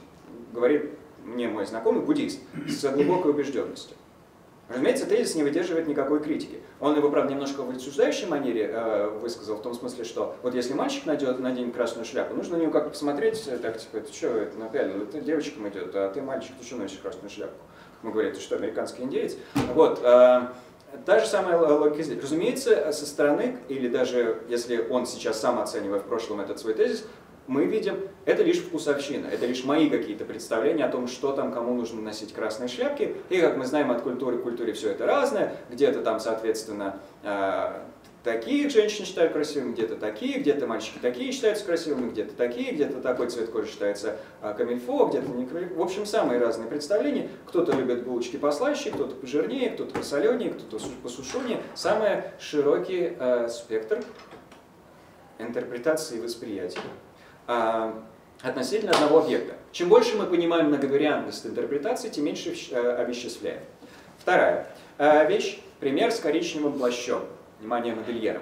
Вот, скажем, э, сидит перед нами человек в таком вот красивом коричневом... Это я сам смоделировал, видите, я человек многих талантов, я даже и одежду могу шить. А, вот, это, а, соответственно, прототип, только линейку мы запустим позже. А, человек в коричневом плаще. А, и мы зачем-то задаемся вопросом, а где этот коричневый плащ, который мы видим? Ну, вот мы такие буддисты, мы не думаем, где он купил этот коричневый плащ, как нормальный человек, и подумали, какой гениальный модельер придумал этот коричневый плащ. Мы думаем, а где на самом деле объективно находится коричневый плащ, который мы видим?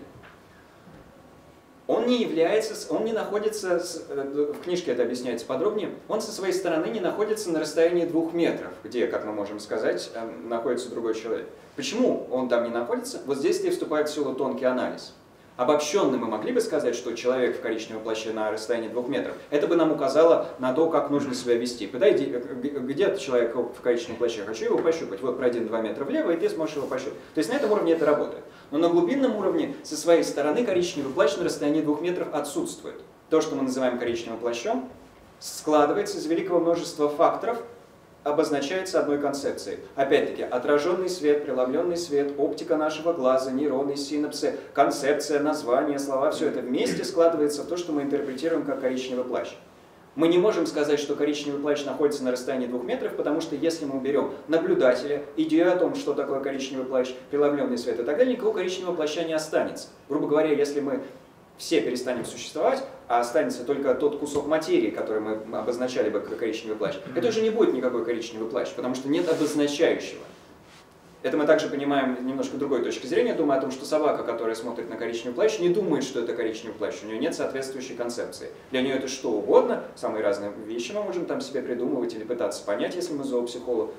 Но для нее это не коричневый плащ в нашем понимании, что-то другое. Это еще помимо того, что некоторые существа вообще не различают цветов, у некоторых совершенно иная оптика в глазе, э, глаза и так далее. Так что он не находится со своей стороны на расстоянии двух метров, но в то же время мы не можем свести его просто до сознания э, или мозга. Не можем сказать, что, например, э, раскроив себе черепную коробку и попытавшись там где-нибудь расковырять э, какие-нибудь нейроны, не можем сказать, что маленький коричневый плащик спрятан где-то вот там, и он просто из нашего глаза, как кинопленка, спроецировался на расстоянии 2 метра. Это тоже был бы полный бред. Так что здесь мы видим сложную взаимозависимость. Только во взаимозависимости мы можем о коричневом плаще говорить. Не можем говорить о независимом коричневом плаще, не можем его овеществить. То есть можем мы это делаем, но это не будет адекватным окончательным описанием реальности. То же самое в примере с а, звездой. Вот мы, скажем, любитель астроном, а, один из тех людей, которые используют свои телефоны просто чтобы а, фотографировать темное небо, на котором нифига не видно, и с большим восторгом выкладывать это в свои соцсети. Ой, какая красивая сегодня Венера, там такая черная размазня и какие-то сопли размазаны такие, но вот э, мы выкладываем с большим восторгом, потому что своей оптикой-то мы, может, увидели Венеру, хотя в Инстаграме уже никто это не разглядит. Ну и мы так по доброте душевной лайкаем, конечно. Что взять такого человека? Но в остальном как-то вот так. Вот мы, соответственно, смотрим на эту, не знаю, эм, какую-то там звезду, э, волхвов, э, любуемся ей и опять-таки задаемся вопросом о ее местоположении. Опять-таки она не там, на расстоянии 10 триллионов световых лет вдали от нас. Ну, во-первых, потому что если бы она была там, а никакого наблюдателя не было бы, мы бы не могли говорить даже вообще, ну то есть вот этот весь анализ, который мы только что с плащом осуществили, он тоже здесь применим, но более того, пока мы на нее, пока свет долетел э, до нас от этой звезды, пока мы его осознали и так далее, уже прошло 10, соответственно, триллионов лет, и звезда вообще уже в каком-то другом месте, а скорее всего и, взорвалась к чертовой матери, а мы думаем, что она там. Нет, ее там нет, на самом деле в это мгновение времени там что-то совсем другое. Может быть, мы уже на самом деле там, но, в общем, сложно все в реальности. А, гораздо сложнее, чем на кажется. И все же в силу базовой такой примитивной всем привычки к овеществлению, если нас спросить, ну а где вот эта звезда, на которую ты мне показываешь? Да вот же она вон там. На уровне субъективных переживаний, на инстинктивном уровне мы в этот момент думаем, если мы не склонны глубоко анализировать, что она именно там и находится, причем со своей стороны, независимо от наблюдателя, как независимо от наблюдателя существовал коричневый плащ. То же самое и со звуком. Еще один пример моей способности придумывать графические символы. А, звук, на самом деле, это колебания в атмосфере со скоростью распространения около 65 миль в час. Я сам ни в жизни бы это не знал, доктор Волис об этом пишет, а он хорошо превосходно знает теорию физики, поэтому э, я ему верю. Но вот я со своей стороны этого не знал, а думал, что звук существует со своей собственной какой-то стороны. Какая прекрасная песня, Катечка, что это вы включили нам тут на своем айфоне послушать? Да, это же мой друг на виолончельке пиликает. Вот смотрите, какая красивая музыка. Со своей собственной стороны красивая, со своей собственной стороны музыка, со своей собственной стороны виолончелька, друг, все остальное. Вот он, этот звук, мы обесчисляем. И говорим, ах, если не прокачку, говорит, ах, как прекрасно раздаются эти божественные звуки пения Мадонны. Как будто ангелы запели. Во-первых, опять же, вся, вся эта цепочка снова воспроизводится. Во-первых, э, этот человек думает, что это ангелы запели, а мы говорим, господи, выключите это же скорее. Что это вообще за ужас? Не Аллу Пугачеву, пожалуйста, включите. Вот кто поет как ангел. Соответственно, вкусовщина, как мы понимаем, разница в интерпретациях. А коричневый плащ, мы не верим в то, что звук существует независимо от воспринимающего. А, и вообще не можем его даже никак локализовать, потому что он распространяется. Опять-таки не можем сказать, что звук там или здесь. Да и вообще, при попытке поанализировать, что же является базисом для обозначения звука, для его восприятия, видим, что это на самом деле колебания, причем колебания, которые могут только в атмосфере разворачиваться, потому что без атмосферы не может быть никакого звука, плюс колебания, которые должны ударяться о соответствующую барабанную перепонку, плюс вся эта сложная нейронная цепочка, опять-таки. Но мы овеществили, вот она божественная музыка виолончельки, вот она божественное пение Аллы Пугачевой, вот они, эти объекты со своей стороны. На самом деле не так, мы понимаем, нет основы для овеществления, но мы все равно его производим. Даже если мы бы простыми словами попытались разложить любой акт восприятия, а, так как это делает буддизм, то увидели бы вот эти три составляющие. Объект, орган и сознание. Чтобы я воспринял чушку, э, чушку чашку, э, необходимо наличие объекта, то есть должна присутствовать чашка. Хорошо, чашка у нас есть. Что еще нужно, чтобы ее воспринял? У меня должен быть соответствующий орган. Я не могу зрительно воспринять чашку, если у меня нет функционирующего зрительного органа. Я могу, конечно, потом слышать, ну, если у меня зрительный орган не работает по каким-то причинам, я могу слышать звучание чашки, хотя это не сама чашка, могу щупать чашку, да, тактильные ощущения с ней связаны, пробовать ее на вкус, если ее хорошо помыли, я вряд ли что-то а, ощущу, но не буду экспериментировать, мало ли. А могу нюхать ее, опять же, в надежде, что она ничем не пахнет. И наткнуться на неприятный сюрприз. Но увидеть я ее не могу без органа. И, разумеется, я также не могу увидеть чашку, если нет самого объекта. Попробуйте сейчас увидеть слона. А вы его не увидите, слона здесь нет. Но чашку мы можем увидеть, потому что она есть, плюс у нас есть орган, а, соответствующий орган, зрительный орган, который функционирует. Орган должен функционировать должным образом. Если мы ничего не видим без очков, и мы сейчас снимем очки, мы опять-таки не увидим чашку. Орган есть, но он не откалиброван в нужном а, объеме. Ну и третий компонент, разумеется, без которого никакого восприятия невозможно, это само сознание. Можно, сколько, можно взять глаз, положить его на стол и поставить чашку. Но акт восприятия не состоится, если этот глаз не привязан к какому-то сознанию. Ну, мы можем предположить, что есть какие-то инопланетяне, которые состоят из одного только глаза, и вот если такой глаз мы положим на стол, и он будет смотреть на чашку, то поскольку этот глаз привязан к сознанию, он сможет ее воспринять. Но наши глаза привязаны к сознанию только, когда они находятся внутри нашего тела, связаны с функционирующим мозгом, в котором есть сознание. Опять же, а, если мы в коме, а, то у нас нет активного, даже если мы спим, У нас есть сознание в теле, э, если мы спим по мысли буддизма, бодрость, но нет бодрствующего сознания. Наш ум функционирует в этот момент на ином уровне, который называется тонким или субстратным сознанием. А грубого уровня сознания нет, и потому глаз как бы временно не подключен к нужному сознанию, потому опять-таки никакую чашку мы не видим, поэтому когда мы спим, мы не видим внешних чашек.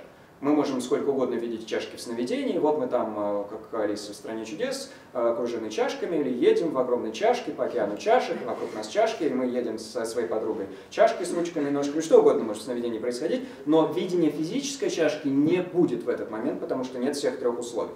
Когда же все три условия происходят? Причем, на самом деле, с технической точки зрения буддийской, здесь под сознанием подразумевается не наличие сознания вообще, а наличие предшествующего мгновения психической активности – а, если у нас все-таки есть все три, предшествующее мгновение психической активности, внешний объект и функционирующий орган, мы сможем чашку увидеть. Только когда есть все три. И потому мы не можем ни одну из этих вещей а, овеществить. Не можем ни один из трех компонентов выделить нечто отдельное, функционирующее само по себе. Они только в этой последовательности выступают в нужной роли.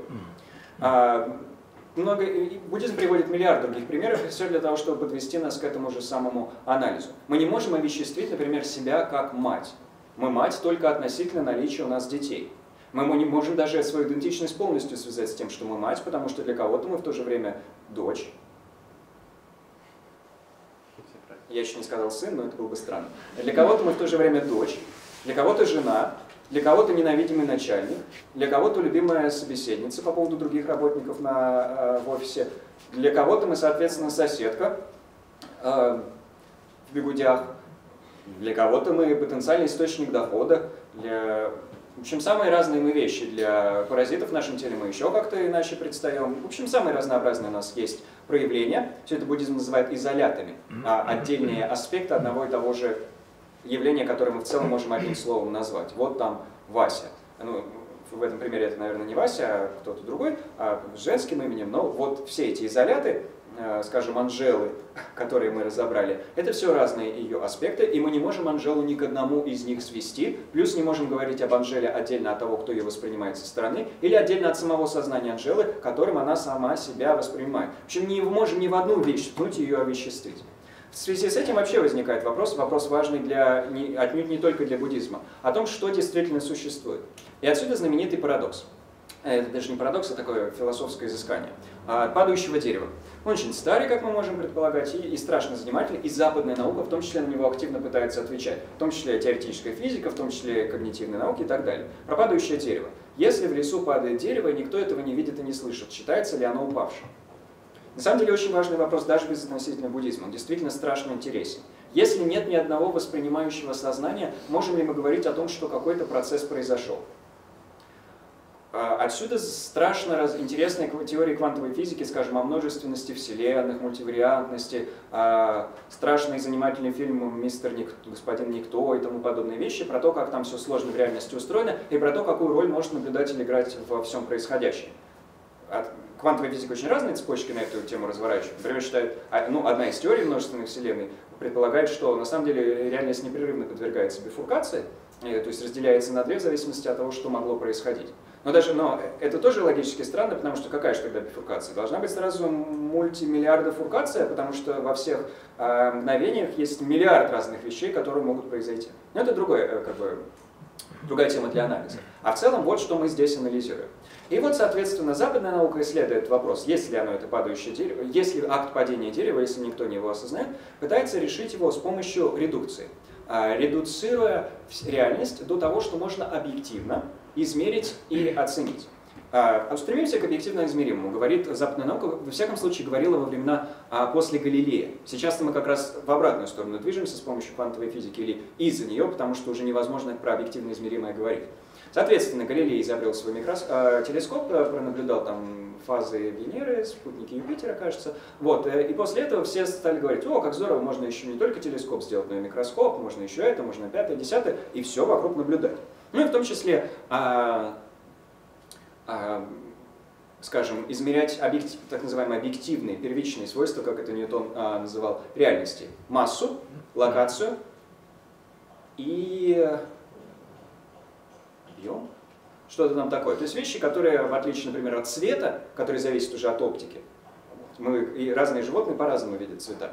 А, мы как вид животных в данном случае. Цвет уже не объективная категория, но масса, условно говоря, объективно измеримая. Мы можем соизмерить массу с какими-то единицами измерения, вот поставить на одну сторону весов э, карту, положить кусок картошки, на другую гирю, и мы оценить, сколько весит картошка. Соответственно, хотя бы это мы можем как-то установить в качестве некой договоренности, как будто бы объективно.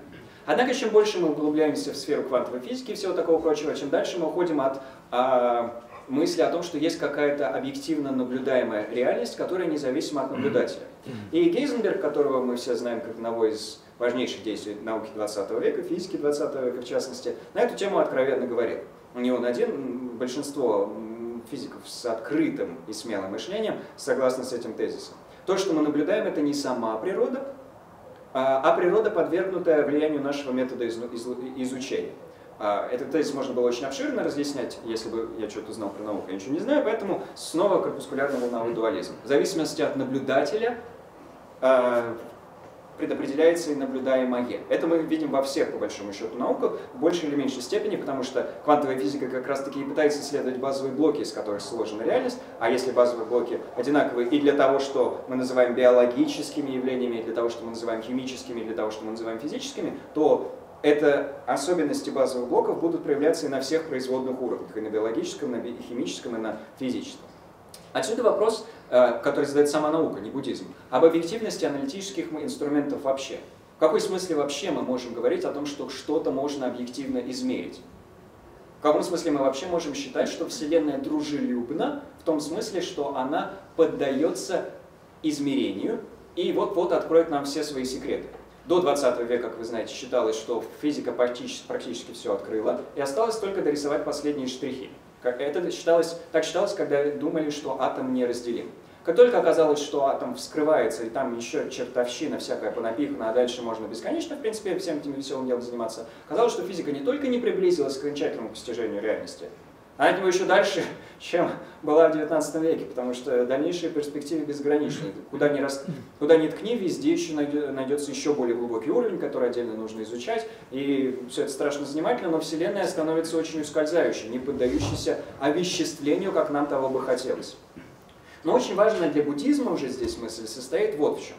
Да, мы можем все дальше и дальше раскладывать, скажем, э, атом, на протоны, нейтроны, электроны, их в свою очередь на еще какие-то вещи, скажем, на кварки, дальше еще куда-то там ехать и все дальше так раскладывать. Это отдельный интересный процесс, процесс, связанный с разложением материальной реальности. В какой-то, и здесь две теории. Может быть, мы так и будем бесконечно находить все дальнейшие материальные частицы, может быть, мы, так считают некоторые, это лишь гипотеза. А, может быть, мы в какой-то момент уткнемся в слой реальности, где а, энергия будет, э, где будет только энергия, и отдельный вопрос, что это такое, что тут под энергией подразумевается, и эта энергия будет не отличной от ума. Чем, это как бы разные теории в рамках западной науки и около науки. Но с буддийской точки зрения важно не это. Важно то, что как бы мы ни раскладывали все на кварки или что угодно иное, мы не можем найти уровень более глубокий, чем умственные видимости. Мы не можем произвести видеостей, да, видимостей. Мы не можем редуцировать реальность дальше умственных видимостей, потому что, как бы мы ни раскладывали все на что угодно, мы, как наблюдатель, всегда остаемся. Даже если мы разложим кварки на субкварки, субкварки на субсубкварки и так далее, всегда останемся мы как наблюдатель. Или кто-то как наблюдатель, если роботы нас уничтожат и будут тогда вместо нас наблюдать, кто-то как наблюдатель всегда остается. И этот кто-то не может быть редуцирован. Ну, то есть мы можем себя опять-таки разложить на разные самые составляющие, но мы не можем полностью выбросить себя за рамки уравнения. И вот это-то и важно нам для постижения реаль... э, пустотности. С точки зрения этой модели, абсолютно все явления существуют относительно ума, который их постигает.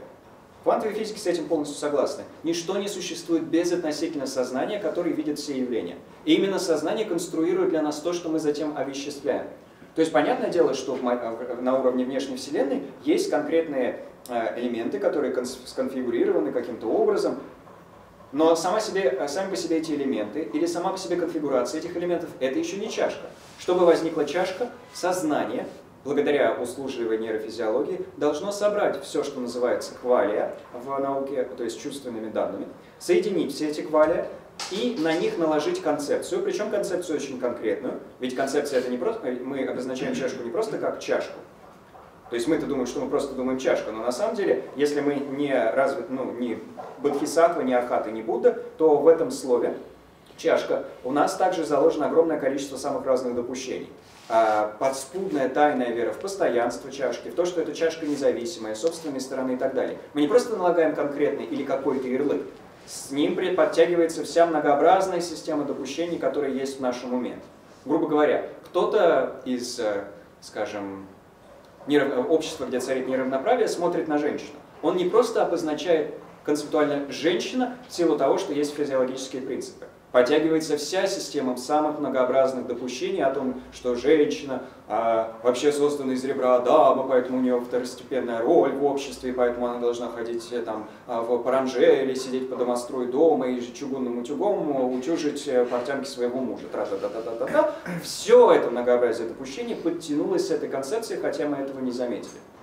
Но даже если бы всего этого не было, а мы были бы близки к состоянию а, архата или были бодхисаттвой, все равно невозможно было бы говорить ни о какой чашке без ее собирания и обозначения умом.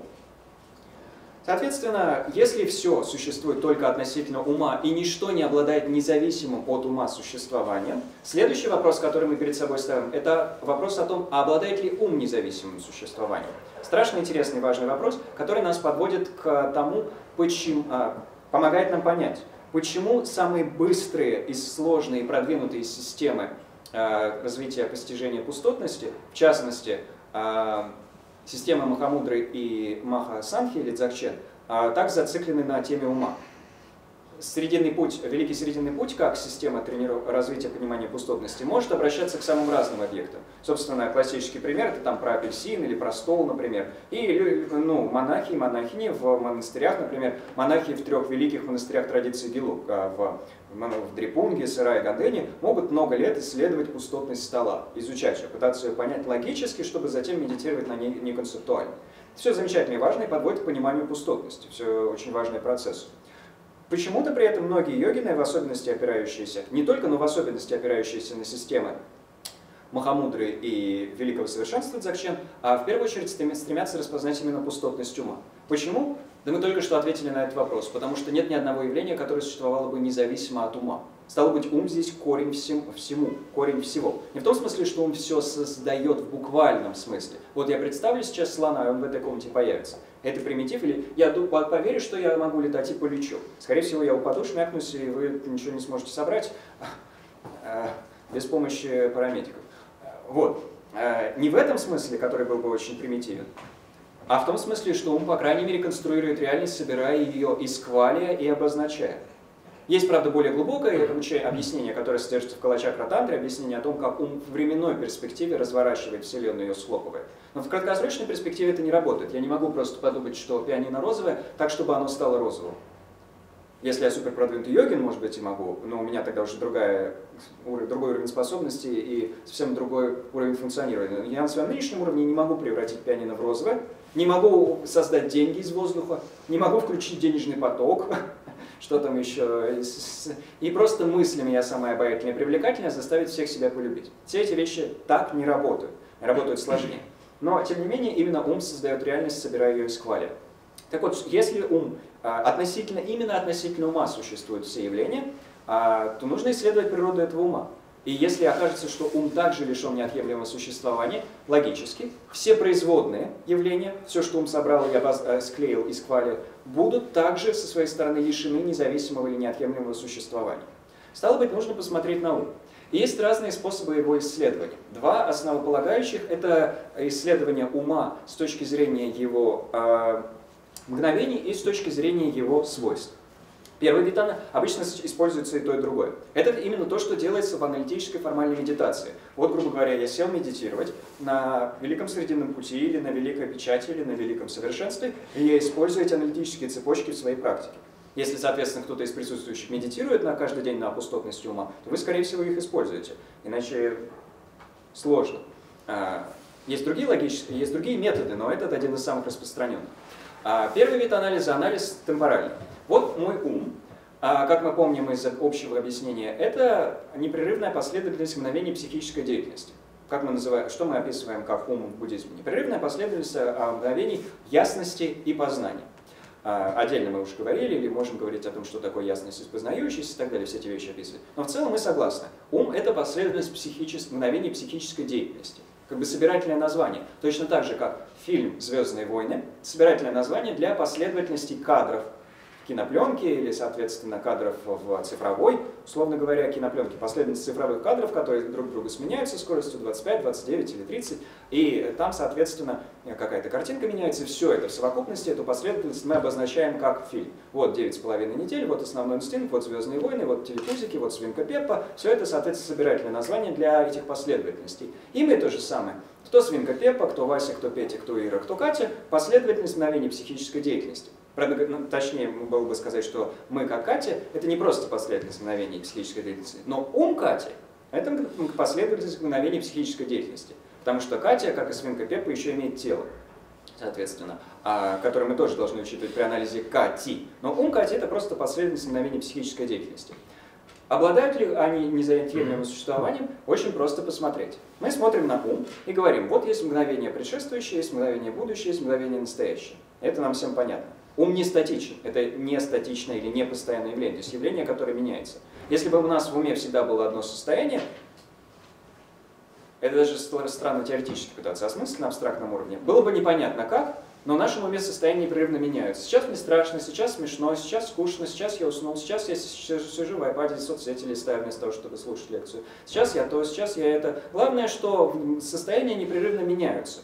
Чего не бывает, так это статичности. Даже если какое-то состояние присутствует долговременно, скажем, мое навязчивое страстное желание скорее броситься отсюда и выпить две чашки эспрессо, оно все равно меняется, оно не является одинаковым ни в какой конкретный момент. Так вот, есть прошлое мгновение, есть будущее, есть настоящее. Окей, мгновение прошлое уже ушло, оно уже существует только абстрактно. Мгновение будущего еще не настало, тоже понятно, это пока просто абстракция. Но есть мгновение нынешнее, оно должно быть настоящим и обнаружимым. И вот мы начинаем его изучать. Мгновение нынешнее. Как и у любой вещи, у него есть начало, середина и конец. Хорошо, начало, опс, а уже прошло, конец, опс, еще не наступил, середина. Давайте середину рассмотрим. Ой, у середины тоже есть начало, середина и конец. Ладно, тут тоже отбросим начало и конец и ставим середину. И у середины середины есть середина. И у середины середины середины тоже есть середина. И у середины, середины, середины, середины тоже есть середина. И дальше так можно бесконечно копать, и мы ни в какой момент не обнаруживаем мгновение какой-то серединности, которую ум мог бы ухватить, без того, чтобы это мгновение не стало уже прошлым. При том, что э, э, модель ума в, про саммика Мадхьямаки считает, что в уме, если я не ошибаюсь, больше 300 мгновений за один щелчок пальцами – даже с этой скоростью, очень большой скоростью, мы не можем ухватить никакое мгновение, которое не ушло бы уже. На самом деле в этом-то и состоит очень большая хитрость, связанная с умом. Некоторые школы мысли считают, что ум может осознавать сам себя. Это верно, но с оговорками. Ум, одно мгновение ума не может осознавать то же самое мгновение ума. Вот в этом а, разница в описании ума между Читаматрой и Мадхьямакой, Расамикой Мадхьямакой в частности. Читаматра говорит, есть способ, или может быть это не Читаматра, но неважно, какие-то из низших школ говорят, что есть способность к перцепции. А, то есть одно мгновение ума способно осознавать само себя. Мадхьямака говорит, нет, меч не может рубить сам себя, это знаменитый тезис Шантидева, то есть одно мое мгновение ума не может осознавать то же самое, и в то же время это не означает, что я вообще не способен к интроспекции, как утверждают даже некоторые оксфордские профессора. Человек не может осознавать свои мысли, и эмоции, что это вы нам такое тут рассказываете. Реальные слова оксфордского профессора, который прослушал 30-минутное выступление доктора Алана Уэльса, который больше 10 тысяч часов своей жизни посвятил осознаванию своего собственного ума. Нет, мы способны осознавать свой ум. Просто с точки зрения разложения всего при анализе, следующее мгновение ума осознает предыдущее, следующее осознает предыдущее и на уровне функции выглядит, как будто ум просто осознает сам себя. Но во временном анализе все немножко иначе. Во временном каждое следующее мгновение осознает каждое предыдущее, а поскольку их природа идентична, это как если бы одно и то же, одна часть ума наблюдала за другой. На самом деле одно мгновение ума наблюдает за предыдущим. Но как бы все это там ни наблюдало, мы не можем ни в какой момент ухватить ни одного мгновения, которое было реально обнаружимым. Стало быть, Прошлое уже ушло, будущее еще не настало, а настоящее тоже невозможно уловить. Мы остаемся в состоянии, где нет, в нашем медитативном анализе, где нет никакой вещи, на которую можно было опереться. Нет ни одной точки отсылки, никакой точки, которая была бы реально существующей обнаружимой. Нечего овеществить. Вот в чем здесь смысл. Неч... Рефикация ни к чему не приложима при глубинном анализе. Но это один, одна сторона анализа, а другая, которая очень часто используется, практически всегда используется при анализе природы ума, а используется и та, и другая сторона анализа. Это анализ ума на предмет присутствия в нем материальных свойств. Вообще говоря об уме в буддизме, мы говорили, что буддизм понимает ум как а, явление по природе своей отличное от материи. Есть материя, и у материи есть такие свойства, как цвет, форма, очертания, размер, локация. Ум а, другой уровень явлений, у, это ментальное явление, и у ментальных явлений, ни у каких ментальных явлений, ни моего ума, ни ума Кати, ни ума свинки Пеппа, если бы она существовала, ни у какого ума нет очертаний, цвета, размеров и локации. Но в медитации мы ищем все эти вещи. Мы спрашиваем себя в определенной последовательности на основе тех указаний, которые нам дал уже наш учитель, или которые мы получили как-то еще. Обычно эти методы передаются от учителя к ученику в конкретных своих конфигурациях. Мы анализируем, есть ли у моего ума очертания, есть ли у моего ума цвет, и то же самое с размером и локацией. Ничего этого мы обнаружить не можем. Стало быть, опять-таки, нечего овеществить. Ума нет ни одного мгновения, за которое можно ухватиться. И нет никакого из свойств, за которые можно ухватиться. Нельзя сказать, вот форма моего ума, вот цвет моего ума, вот его локация, он здесь, здесь, здесь, здесь, здесь, здесь, здесь. При глубоком анализе мы нигде ум не находим. Как мы помним, мозг мы можем найти, мозг это совсем другое. Это коррели, э, так называемый коррелят, явление, которое соответствует уму, связано с ним временно, потом отвалится, а, но не является самим умом. Вот. Соответственно, ум мы не можем обнаружить ни так, ни эдак, и остаемся в состоянии, где нет ничего обнаружимого, ничего овеществляемого, то есть в состоянии отсутствия невозможного способа существования ума. Мы осознали, что все явления существуют относительно ума, осознали, что и потому лишены неотъемлемого существования, не существует со своей собственной стороны есть гораздо, это лишь обзорное объяснение, есть способы описать каждый конкретный уровень невозможного существования и то, как его отбросить. Этому-то и посвящено 20-летнее, этому и посвящено 20-летнее изучение соответствующих классических текстов, дебаты на эту тему и так далее. Мы можем очень тонко осознать все эти моменты и отбросить все лишнее, ухватив все нужное. Но на самом простом уровне вот эта простая цепочка также нам поможет. Мы отбросили темпоральное, а точку цепляния ее не существует, мы не можем во времени указать на реально существующий момент ума. И отбросили все, что связано со свойствами. Остались в этом состоянии отсутствия невозможного способа существования, и это и есть медитация на пустотности, подобное пространство, как это называется. Когда мы работаем с пустотностью, то есть с окончательной природой явлений, есть два а, главных метода, которые мы применяем. Медитация, подобная а, погруж... а, пуст... Медитация подобное пространству, медитация на иллюзорности. Медитацию подобное пространству мы выполняем в, медит... в формальных сессиях, то есть когда мы сидим на подушке, грубо говоря. А медитация на иллюзорности – это то пометование, которое мы поддерживаем на повседневном уровне. Вот я завершил свою формальную практику, пошел в магазин, иду в магазин, соответственно, и стараюсь вспомнить. Все явления лишены неотъемлемого существования. Они проявляются подобно иллюзии. Их конструирует мой ум, а мой ум также лишен неотъемлемого существования. Вот это пометование о том, что все подобно иллюзии, не равно иллюзии, это очень важно понимать, потому что если мы будем думать, что все явления просто иллюзии, то мы впадем в крайность нигилизма, а этого очень, важ, очень важно избежать. Нет, все явления подобные иллюзии пометуемые, и это и есть второй вид а, практики для постижения пустотности. Когда мы их объединяем и выдружаем эту венечный камень в пирамиде на все то здание, которое мы простроили с помощью других практик, всех предшествующих, прибежища, работы с кармой, работы с любящей добротой, развития бодхичитты и все остальное. Когда на все это тело мы приделываем вот эту голову из пустотности, которую мы развиваем с помощью двух методов, подобного пространства, подобного иллюзии, тогда-то мы и обретаем возможность постепенно приблизиться к прямому постижению а, пустотности, к ее уже неконцептуальному пониманию. И тибетский буддизм, а, индотибетский буддизм содержит тексты, которые очень подробно объясняют, как это выглядит с точки зрения этапов преобразования нашего сознания. Вначале мы приобретем только очень грубое концептуальное постижение, потом оно будет приходить через определенные стадии преобразования, а, когда мы вступим на так называемый путь применения, и в конечном итоге мы достигнем первого мгновения прямого постижения, и с этого момента окажемся на том, что называется формальным путем видения. То есть там очень-очень подробно описываются вот этот этапы эволюции в рамках нашего а, продвижения. Вот этот самый метод, который мы только что описали, он отличен от метода анализа колесницы, от метода алмазных обрезков, от метода анализа по четырем пунктам. Этот метод, а, в первую очередь на взаимозависимости, а, приводится в классических а, текстах традиции древняя Кадамба в первую очередь. Вообще много где всплывает, потому что традиция древняя Кадам, одна из тибетских субтрадиций, стала частью всех остальных школ с течением времени. Но в особенности четко он, мы чаще всего его видим в тексте, который называется «Семь пунктов тренировки ума». А, так же получилось, что у нас ровно через неделю будет здесь же семинар по этому тексту. Мы там не будем, скорее всего, в пустотность, правда, погружаться, но в целом сам текст «7 пунктов тренировки ума» нам в следующие выходные опишет Онди Уилсон, а в октябре сам, собственно, доктор Уоллес проведет семидневный ретрит по этому тексту, где очень э, даст исключительно ясные и четкие наставления о том, как медитировать на каждом элементе этого текста, включая элементы, связанные с пустотностью. Так вот, именно в этом тексте описывается чаще всего эта медитация, которая на самом деле проста и доступна каждому. Это как бы егический сущностный метод. Мы, может быть, не можем позволить себе 20 лет изучения Мадхьямаки в монастыре или монастырском университете. Но, разумеется, мы стараемся изучать настолько, насколько возможно. Естественно, Аллах нас всегда к этому призывает. Но даже если мы пока не освоили глубокий или большой объем, там, скажем, текстов Нагарджуна, Чандракирти, не изучили девятую главу Шантидева и все такое прочее, даже несмотря на это, мы можем уже начинать использовать вот этот конкретный метод, связанный с медитацией на пустотности, как она описана в семи пунктах тренировки ума. И просто вспомним еще раз его этапы. Мы начинаем с того, что анализируем зависимость всех явлений от ума, и все те цепочки физического плана, которые мы использовали, все эти соображения, здесь более чем применимы. Осознаем, что все явления конструируются умом и потому зависимы от него, а затем направляем внимание на сам ум и распознаем его пустотность с помощью анализа его мгновений и анализа его свойств.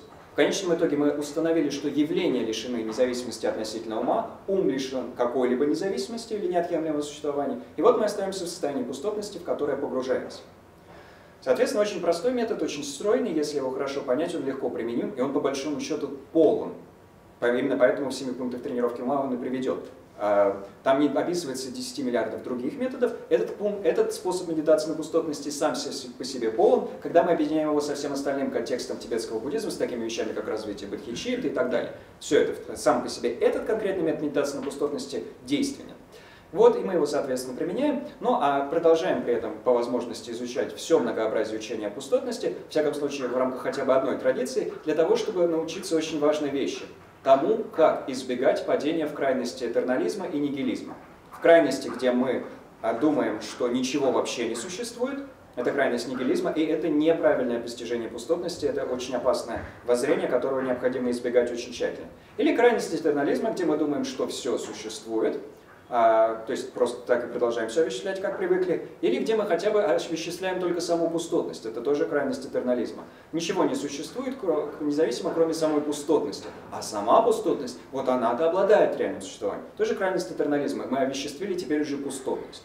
Этого мы также стараемся избегать, и вот все многообразные тексты Нагарджуна, Чандракирти, Арьедевы, а, если говорим про традицию просангика, то затем Будда Политы, и Чандракирти. Если говорим про другие субтрадиции Мадхьямаки, то другие бы называли авторов, соответственно. Все эти тексты э, предназначены для того, чтобы как можно корректнее нам объяснить, как избежать двух крайностей.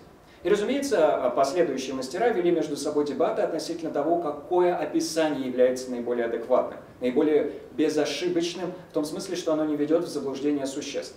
Именно поэтому-то в тибетской традиции объяснения пустотности так много дебатов. Когда, например, Цонкапа полемизирует с Гарампой, Гарампа полемизирует с Цонкапой, последующие мастера полемизируют с Цонкапой, а потом, соответственно, приходит Джамгон Контрол и полемизирует с предшествующими мастерами. И вообще, куда ни ткни, мастера друг с другом обмениваются письмами, в которых ведут дебаты по поводу объяснений, которые каждый из них использует. Или в буквальном смысле вживую ведут дебаты, как это было иногда исторически, такие очень громкие, с судьями и всем остальным. Для того, чтобы показать, каков из метод, какой из методов может быть наиболее оптимальным для существ.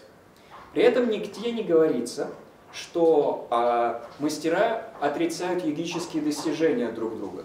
Когда они ведут дебаты, это его святейшество, всегда, это не, не мои домыслы, это всегда говорит его святейшество Даллама и его очень видные ученики, такие как доктор Алекс Берс.